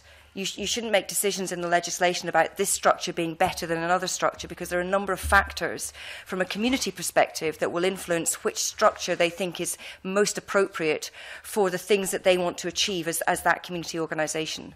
Um, you know, for instance, the reason people may want to choose a community benefit society is they may want to go down the route of raising finance through doing a community share issue. The only way you can do that is if you're set up as a community benefit society. But actually, the membership of a community benefit society can be as broad as the membership of a company limited by guarantee or a SCIO. So as long as you've got the values built into the structure, which you can have, we don't think the structure should be the limiting factor. Um, in any, in any way whatsoever, because it's got to be about the structure that works best for the, for the things that the community wants to achieve. Um, that, uh, you know, there are new structures being invented all the time, uh, and that therefore there should be more of a broad definition of uh, what these structures should embrace. Do you agree? Well, I think so. I think, I think what you can do is you can almost set out the values that you want the structure to adhere to and the principles of how they should operate. And you can then, you can then see how that translates into a number of different structures. You know, people always ask us, what's a development trust? And we say, well, it's not a, a physical thing. It's a way of working and a concept that, that, that demonstrates a certain set of, of, of values and approaches to how you're going to achieve the end result. So, you, we don't know. And communities are, are, are actually often ahead of the curve here and that the things that they want to do and the aspirations they have and the creative ways they're thinking about how they can achieve their aims and objectives are often limited by the legal structures that are available to them. So I, I think having a degree of flexibility is, is really helpful, although my understanding is that that's there in, in, in the legislation as proposed because it says and any other structure that may come along you, you know could be added at a later stage. So we wouldn't like to see anything that currently exists excluded, but you would also want to have flexibility to add later on. Right. Um, Claudia, uh, John Mandel has to leave I, us I, at one o'clock, yes. so I wanted to bring him in on a, a matter related to... I don't, uh, I don't need to come back. You I'm don't just interested to listen to people's views. Uh, well, okay, we'll have Susan and David, and then I want to come on to a question to John particularly. Yeah, uh, Susan. Yeah, going back to your question, it was very complex, but um, my experience has been that actually the communities themselves define themselves. Um, so, for instance, and they evolve. they, they become um, almost redundant. So, for instance, our Community Development Trust came from um, an organisation that was set up as an umbrella organisation for neighbourhood associations across the Greater Craigmiller area. So we, we first of all, set up neighbourhood associations instead of tenants and residents groups because we believe that people identify themselves by where they live, not by who owns their house. Um, and then from that, we decided that we needed to get bring those together. So we set an umbrella organisation up called the Community Regeneration Forum, which became much more strategic in its approach.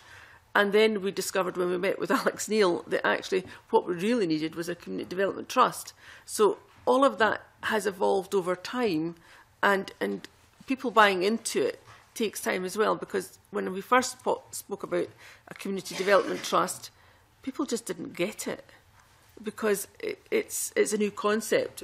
And the only way you can actually get people to buy into these things is if they succeed. So we had to get a few things under our belt before we got to the point where people actually want to join it. So we, we started off with probably maybe 100 people coming up, you know, and, and saying they wanted to join. But now, you know, the, the, this uh, Memmon Arts states that actually every single person living in our defined area is a member. So every single person has an opportunity to have a say on how we are governed. So it, it's, it's something I think that evolves. And David? Right, um, practical answer to the question, how do you define a community?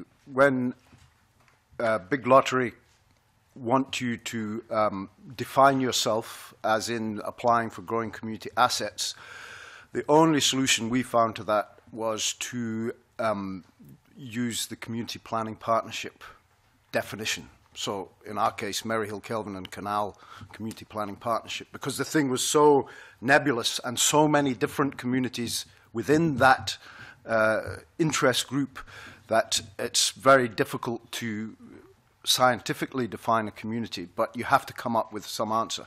That leads to the whole issue of community planning partnerships, which we're not going to go into right now. I can see you saying help, but uh, that in theory, unfortunately not working in practice, in my view, is a significant area that needs thorough overhauling and, and fresh input. However, um, the other point to make is there can be an inherent assumption that community is always a positive thing.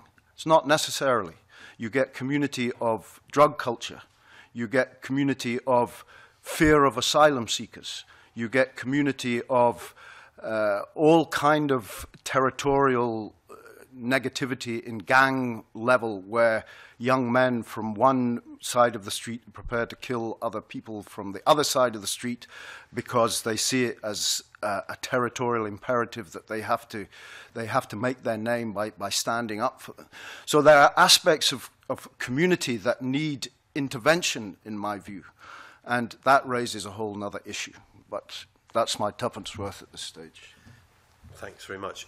We're going to come back to a, a, couple of questions on procedures and requirements, but uh, I wanted to touch on abandoned and neglected land definitions before John has to leave us in a very few minutes, because it's particularly interesting from a local uh, government perspective. So uh, uh I don't know who's going to lead in this. Is it Dave or Mike? Dave? Yeah? Yep. Uh, well, uh, morning panel. Um, the, the, the definition or the lack of a definition of uh, abandoned or neglected land, I think, is something that I would appreciate your, your views on. And also the fact that, unlike the crofting legislation, where um, the, the, the, the crofters wanting to, to purchase land just have to show that uh, it's in the public interest,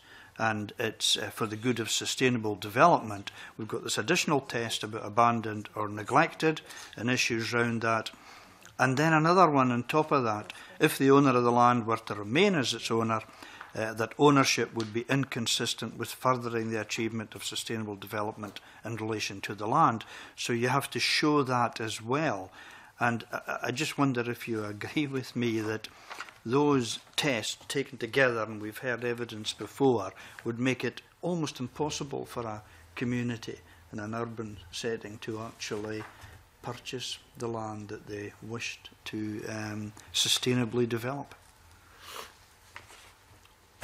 Susan? Speaking from uh, an area like Miller that's very deprived, um, we've always been quite frightened by the fact that we have a lot of derelict land there at the moment because there was so much demolition.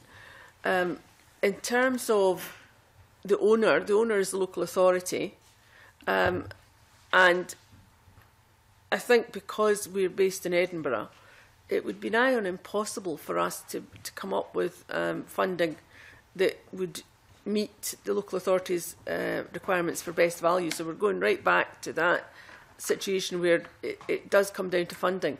And, and I think that, it, uh, I don't know about other local authorities, but I think in Edinburgh, uh, there's such a high value, even if it's not as, as good as it might be at the moment, on land, that people won't release it. I mean, we've, we, we've been really, really strong in our desire to make sure that, that it, none of it is bought and land banked So in some respects, the fact that we have a, a regeneration company that has that red line has probably prevented that from happening. So, you know, it, it is actually quite important. It, I think it very much depa depends on where the land is, on, on how you would define it. But, I mean, certainly uh, we can identify buildings and things that are just going to lie there until um, somebody thinks there's enough value in the, the price to change it. But I, I don't think that in bigger authorities like Edinburgh that we're going to ever be able to aspire to that. John. Thank you. Uh, this is a very, very difficult issue, and uh, we, we've been spending tens of millions of pounds in regenerating our area, as most councils do anyway, uh, and, and we've we have been transforming our area. Uh, and and I'll, I'll give you an example. There's one one site that uh, is owned by uh, an absent uh, owner who is, I think, from the south of England. Uh, in actual fact, I think he may well, and I might be wrong on this, but my uh, most recent understanding is he may well have passed, passed, passed on. And uh, under the circumstances, that there are all sorts of issues associated with that site. Now, strategically, from a planning perspective and also from a regeneration perspective, it's, it's a fantastic location, all the rest of it, and it's a site that uh, the, the Council and our partners for community planning believe would be a benefit for the area. But with all the, uh, the power, the expertise that we have at our disposal, between ourselves and our, our, partners, it's nigh and impossible to move that site on. So that, that in actual fact, the site is blocked, and that's for, for us as a council. And I, and I use that as, a, uh, as an example in my mind's eye uh, and trying to put myself in the shoes of a community group who want to try and access a, a particular uh, site And, and you're talking about abandoned or derelict, derelict land. Now, obviously down Inverclyde, south of the Clyde, uh, uh, obviously major shipbuilding uh, area in the past. We have developed a lot of the, uh, the riverside already. We've still got a part to go. But some of that land might look great, but in actual fact it's heavily contaminated, heavy metals, all sorts of chemicals uh, and pollution within that land, and you're talking about millions millions to, uh, to uh, uh decon decontaminate these sites and make them developable. Uh, so you've got all these abnormal costs on some of these sites as well. So that's, that's a high-risk issue. Uh, I doubt very much it exists uh, uh, in uh, Susan's example to the same degree where uh, obviously Cave Muller before was predominantly housing and uh, obviously there's a lot of open space now where the, the sites have been cleared but there will still be an element of contamination. These houses, bearing in mind when they were built, could have had asbestos in them and all the rest of it. Uh, and, and again, that being the case, that makes that site, the costs of these uh, developing these sites so prohibitive. So we have to be very careful in, in what we're doing, and it comes back to the money again. It's proper assessment of the site, options appraisals, and, and coming up with the, the sources of funds. Who's going to pay? Now, obviously, from our point of view, the land that's owned by us, the land that's owned by uh, Peel Holdings or Clydeport, uh, where we're in partnership with them through our urban regeneration company, uh, we set up partnerships with these people. But uh, from a professional point of view, uh, it's mind-blowing the money involved for some of these derelict areas. Having said that, it's the absolutely right thing to do to try and develop these brownfield sites in an urban area because they are a blight.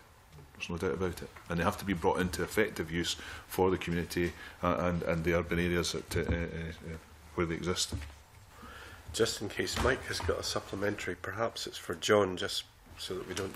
Detain. It is. I, I just. I think it's always possible to find reasons not to do things, and I, I do understand the question of contamination and other things like that. But let's take other examples of buildings. You know, the, the local authorities will hold and own a substantial number of buildings, many of which they will attempt to sell.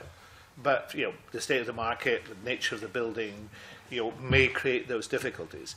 The authority will be spending substantial sums on making those buildings wind and watertight. Often it's not possible to do properly, uh, uh and also making sure they're secure.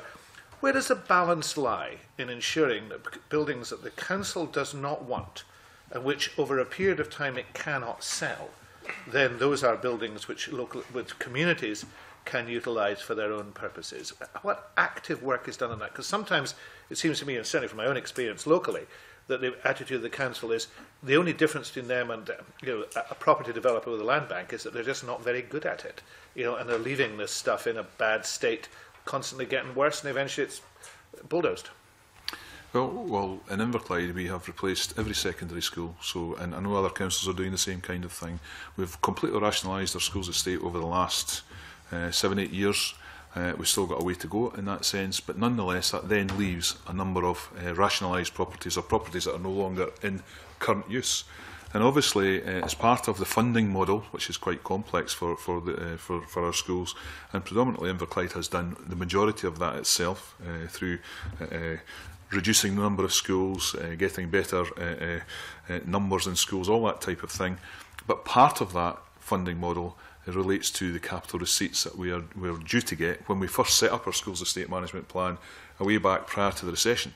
And we've actually factored in the, the, the values that were available at that time for the sale of these assets. It was no longer available, and we took a conscious decision as a council, at least the members took the decision, obviously, uh, to say, right, we're going to uh, stop selling these assets at the moment until the market gets back up to an appropriate level. But we need that cash for, for, for servicing our funding model. It's all part of the, the business plan for the schools estate. You never get cash. Because that but, I'm, I'm, I'm going to come on to uh, uh, the issues. Uh, I absolutely agree that there are uh, appropriate types of assets that uh, we could transfer. And the reason I'm, I'm saying appropriate types of assets, if they're a burden to the council in terms of keeping them wind and water tight, they're going to be a burden to a community group. And again, who's going to be providing the funding? It comes back to what I've said as well. It's the old drum that we all beat. There's not enough money. And I know it's more, it goes beyond that. But nonetheless, if it's a wasting asset at the moment, and it's put in poor condition and we believe to uh, provide services we've got to come up with a, a reduced footprint over, over our whole estate in other words uh, bring it in uh, in size uh, and operate from fewer buildings in a more efficient way, what's left is, is the most inefficient part. And, and I have to say, I wouldn't be comfortable uh, if I'm genuinely here to try and help communities and community groups. Transferring assets are a burden. I'd rather end, uh, uh, come up with a way that we can actually perhaps raise these to the ground, the land that's available, that if it's a school, primary school or whatever, an old primary school, it's right in the, the heart of communities anyway. I'd rather find a way of helping that community uh, or, or group or groups uh, to come up with a new asset potentially because again if they're going to exist for 40 50 years or longer than that uh, it's appropriate they too uh, should have uh, uh, modern assets and efficient assets to operate from there are many circumstances in which communities want to have those assets. They believe they have viable plans for them. They may be assisted by bodies which you cannot get assistance from. For example, in, in Highlands and Islands, HIE may assist communities to develop and to take forward assets which the council could not get money for. So in all those circumstances, do you not think that there is there's an element in which the council might facilitate communities developing their strength and their ability to regenerate themselves rather than simply judging them on the criteria that the council use, we, we, we don't think you're up to this, so we'll just demolish the building. I, I think of, uh, you perhaps misunderstand what I said earlier on. We are proactively involved with community groups just now. I mentioned the issue of a couple of uh, SKIOs, for example. We are working with them very, very closely. I have officers that go to regular meetings in the evenings to, to try and develop uh, plans and indeed help people come up with uh, appropriate funding plans. Down in Inverkip, we're well advanced in terms of bring, building a new facility down there. Uh, it's obviously going through the planning stage. There's one or two issues at the moment. But we do that anyway. It's not new. Eh, if we can get to another organisation or eh, Highlands and Islands can eh, cast our net wider, it's a different called a different thing, and it's a different organisation. Fair enough, but it comes back down to the funding pre predominantly and the will and the will politically and for people like me to make sure that we understand we're here to serve the people out there uh, and trying to help them get the right answer. Brief uh, yeah. supplementary to I that. Thank you. Before John Landell goes into just to help us really to get a, a feel for this because through the evidence that we've taken previously, we, we look at the issue but not being able to identify who the landowner is. And I just wonder, in an urban context, given your experience as a chief executive of council, if you look at blight sites, perhaps in your area, to what extent would there be an issue about identifying who actually owns them, would you feel? Obviously, there's other, other uh, areas that we're being consulted on in terms of uh, the land register and all the rest of it. I think the philosophy behind that is absolutely bang on the button. Uh, I think the aspirations to get that done in a five-year time frame uh, eh, is well uh, over-optimistic as far as I'm concerned. Uh, I think it'll probably take about 10 years. Uh, it's not a priority for us at this moment in time, given everything else that we're wrestling with, uh, but it's the right thing to do. absolutely the right thing to do. And, and if we come up with the, the register and we know who, who owns all the bits of land across the whole of Scotland, well, that would make life an awful lot easier. And again, I, uh, I uh, uh, include common, common good in that area as well, uh, because there are areas where there's shades of grey as always, and the amount of time legally to, to wrestle with some of these issues, and including trying to transfer assets to community groups, which is what we're here to uh, talk about just now, uh, that makes it quite difficult. So that's a great thing to do. Uh, certainly my professional association, Solus, believe that's a good thing to do, but the, the timing is probably not on, on our side or the resources aren't available to deal with that at the moment be clear than right now. The bill was introduced. There, you would anticipate there will be substantial issues there about identifying some site, the ownership of some sites that people might want to take over. Yes, and uh, obviously through uh, the redevelopment work that we do just now, there's still uh, a recent example where uh, it was uh, uh, Peel Holdings uh, down in the waterfront again. Uh, and if you think back how that was transferred, I think all that land along right down all the shipbuilding area was transferred for one pound. I understand, at least that's what some of the members tell me many years ago. And uh, obviously we're paying millions to try and get uh, through partnership to get these uh, uh, uh sites uh, developed. But uh, one site uh, we had a boundary fence around one of my operational depots and we got challenged by Peel Holdings saying no that's not where, where the, the boundary is and the amount of money that that costs just to, to, to sort out one boundary fence and we're talking about a couple of metres difference on a site that's an industrialised area, heavily contaminated, that type of thing, that's a lot of cash and, and that's a simple example.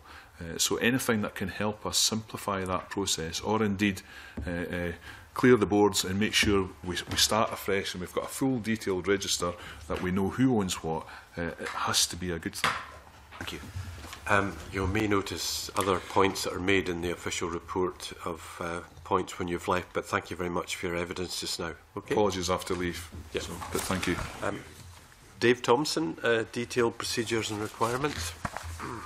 Yes, convener, it's um, to do with the, the registration process really as, as much as anything and, and what the panel feel about um, communities having to, to register. I mean, in some instances it might be very clear that there's a, a bit of land that, that the community might want and uh, an early registration would, would be something that they'd be able to anticipate and deal with. But Often pieces of land uh, will suddenly come on the market. Uh, we had an example from the Home Hill people last week where a public area that everybody thought was a, a public park suddenly had a for sale sign uh, thrown onto it.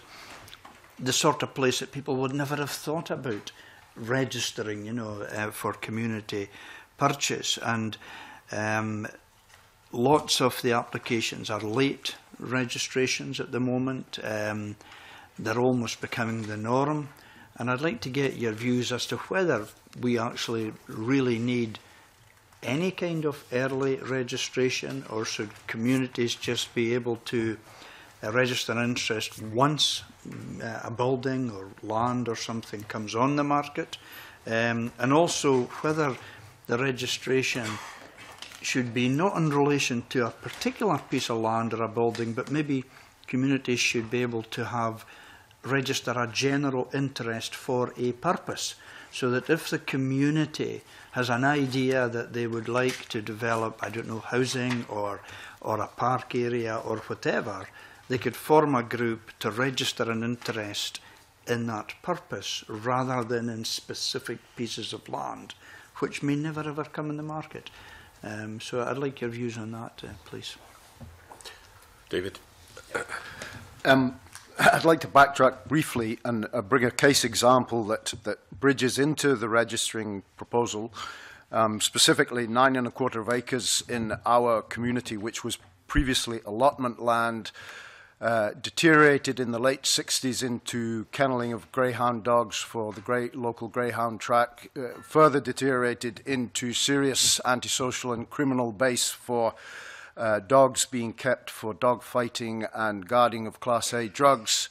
And this situation perpetuated for 20 years until it was finally addressed from pressure from the local community council uh, to get agencies like the police and the council um, and the SSPCA on board to, to, to support the move to take back that land.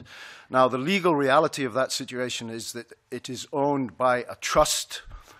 All of the trustees are dead, and they still have legal representatives who are negotiating on their behalf or allegedly on the behalf of a benefactor of the trustees of Postal Estate. And it's a complete nightmare trying to get to the bottom of the whole situation. There's no recognition of the, the damage that that uh, allowing that land to be, to be a base for antisocial criminal behavior has, has had over the last 20 years.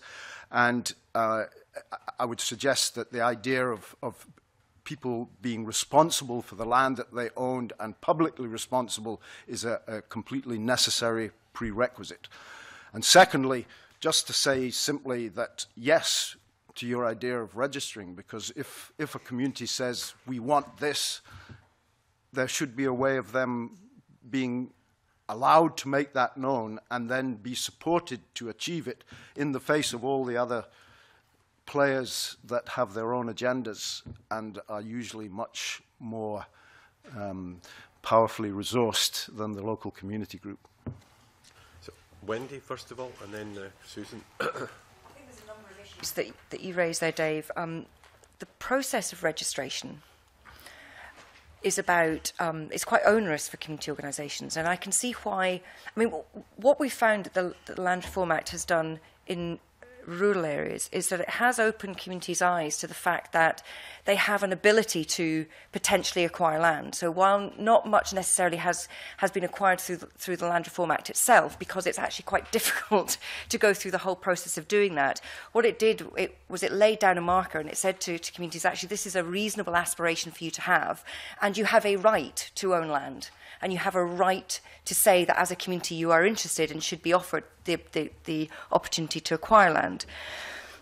And in order for them to register an interest, as you know, they have to set up in a certain way and gather a certain level of interest to, from the wider community to say, we support your registration of interest. In a small rural community, gathering that level of interest may not be that difficult. If you think of urban communities where you have thousands of people potentially living within a, however the community decides to define its community, you could potentially have thousands of people who are often not particularly engaged in democratic processes anyway. Um, so there's an issue for us about how, you, how a community organisation would go about gathering that first her level hurdle that's put in the way, which is 10% of the community needing to demonstrate um, support. How do they go about doing that? Secondly, once you've got that registration approved, you have to re-register five years later and go through the whole process again. Um, so it, it puts people off. However, having, having to do it does make people assess or communities assess what assets they have and why they might want to register interest in land in the first place. So it does encourage communities to, to start being proactive about what type of community they want to live in and, and the things that they would like to be able to achieve as a result of owning assets. Um, whether there's time, the issue with the late registration is a timing issue.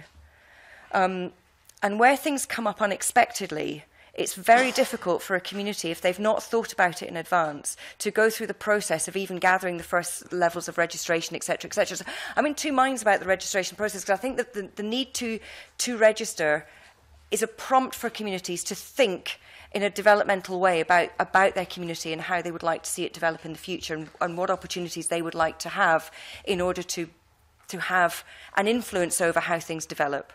Um, but I think the, on, the process is onerous and the re-registration process is onerous.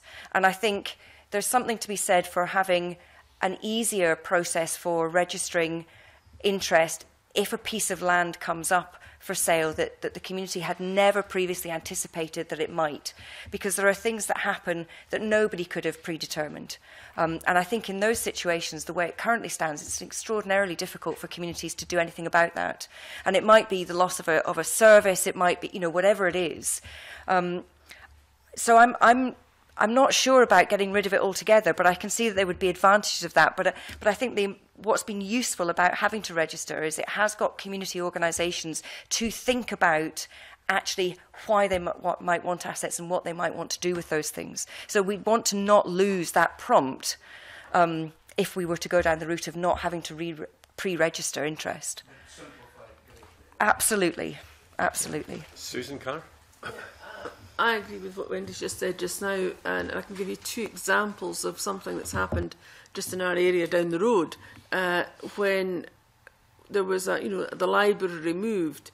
Now we'd expressed an interest in, in renting it. We know we couldn't um, buy it because of the the red line that we, you know, that's, that's determined um, as a development area. But we wanted to rent it, and we had to go through the whole process. And actually, the we lost out for 150 pounds a year because there wasn't anything any consider consideration taken into why we wanted it. We wanted it for a youth zone um, and uh, another um, bidder bid £150 more. Now, actually, if we, we could have afforded that £150 more, but there was no acknowledgement that actually what we were proposing for that purpose it uh, was something that was advantageous to the whole area. That we did the same again with another council owned building just a bit further along the road. And we, we lost out because of that process. I would like to see some way of uh, a community registering um, its you know, aspiration, I suppose, for a certain use of a building that, so that we could ensure that it doesn't just go in. The, building, the two buildings that, are, have been taken over by private um, tenants are, are closed for seven, six of the seven days a week. So actually, you know, it's, it's done very little to enhance the quality of life in our area. Uh, but it's two opportunities that we've missed just because we're not being able to, um, I suppose, register that we want it to be used for a certain kind of use. Okay. okay. Thank you for that. Um, I want to try and move on just now to uh, the tests that communities have to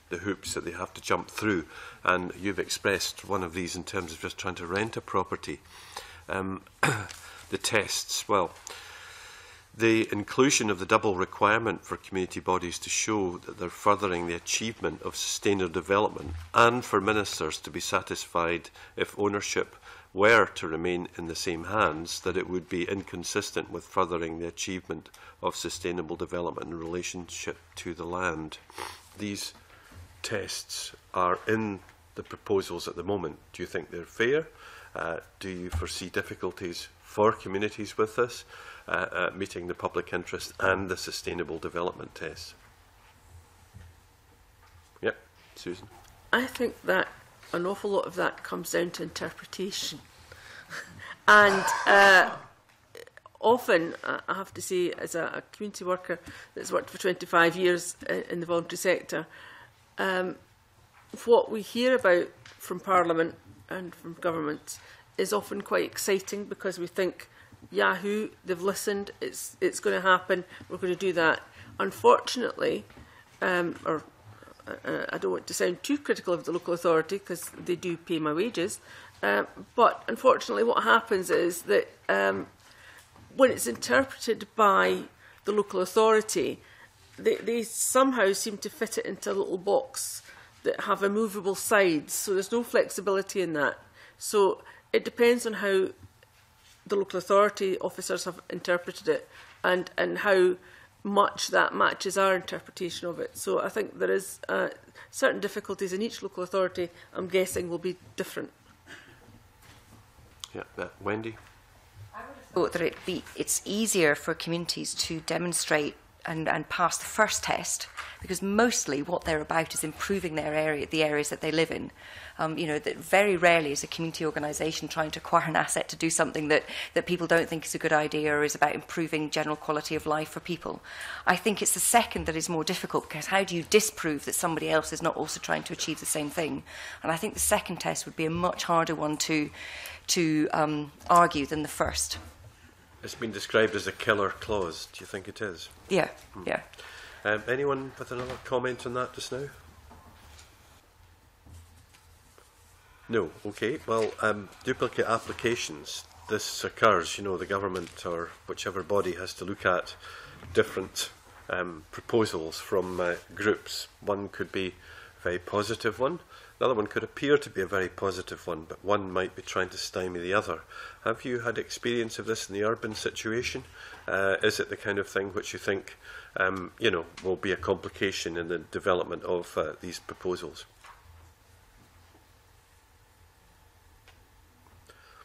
Nobody's had experience of that. Yes, Wendy. Colleagues that operate in an urban area to see whether they have examples of that. I think there's, there's you know, communities being very, very um, active in their own right. Often we've tried very hard, and I think we've, by and large, we've succeeded in trying to get some cohesion into what we're trying to do. So we've, we've made it very open. We've done, um, and, and, and local people are involved in, in decisions and direction that we take. But there's, there's often people who just don't like change. So sometimes it's difficult um, for people to buy into this because they've, and, and certainly in the case of, of, of our uh, community, they've had years and years and years of people telling them, now you do this, then you do that, and this is the money you're going to get, and this is how we're going to do it, and then, uh, you know, the next funding round, oh no, we've changed our mind, you're doing this this way. It's very difficult for people not to be drawn to how you're going to get the easiest access to funds.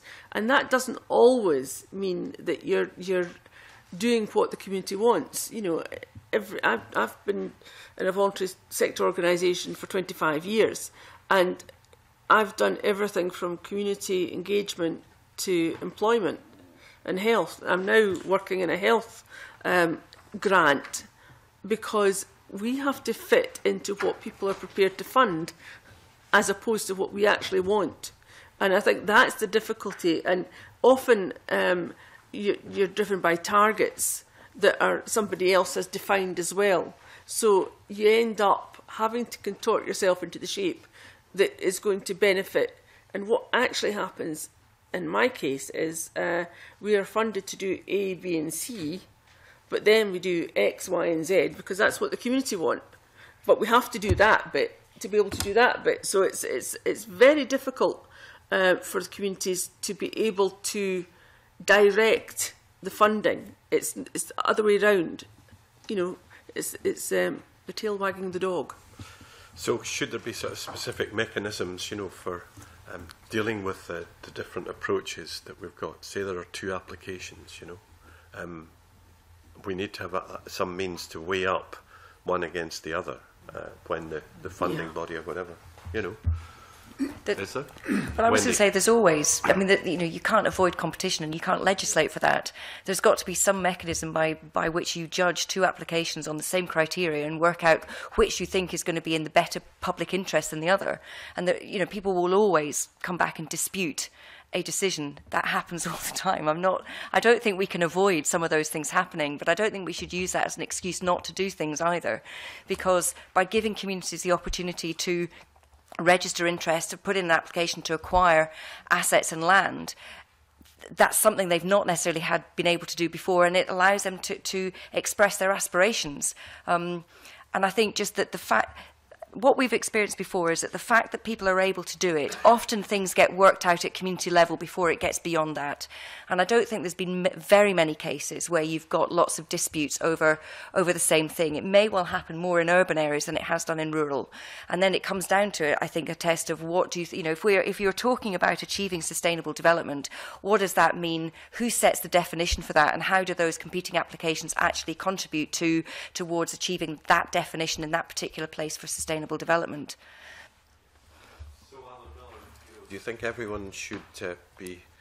given copies of the UN International Covenant on Economic, Social and Cultural Rights and some classes on how to interpret them?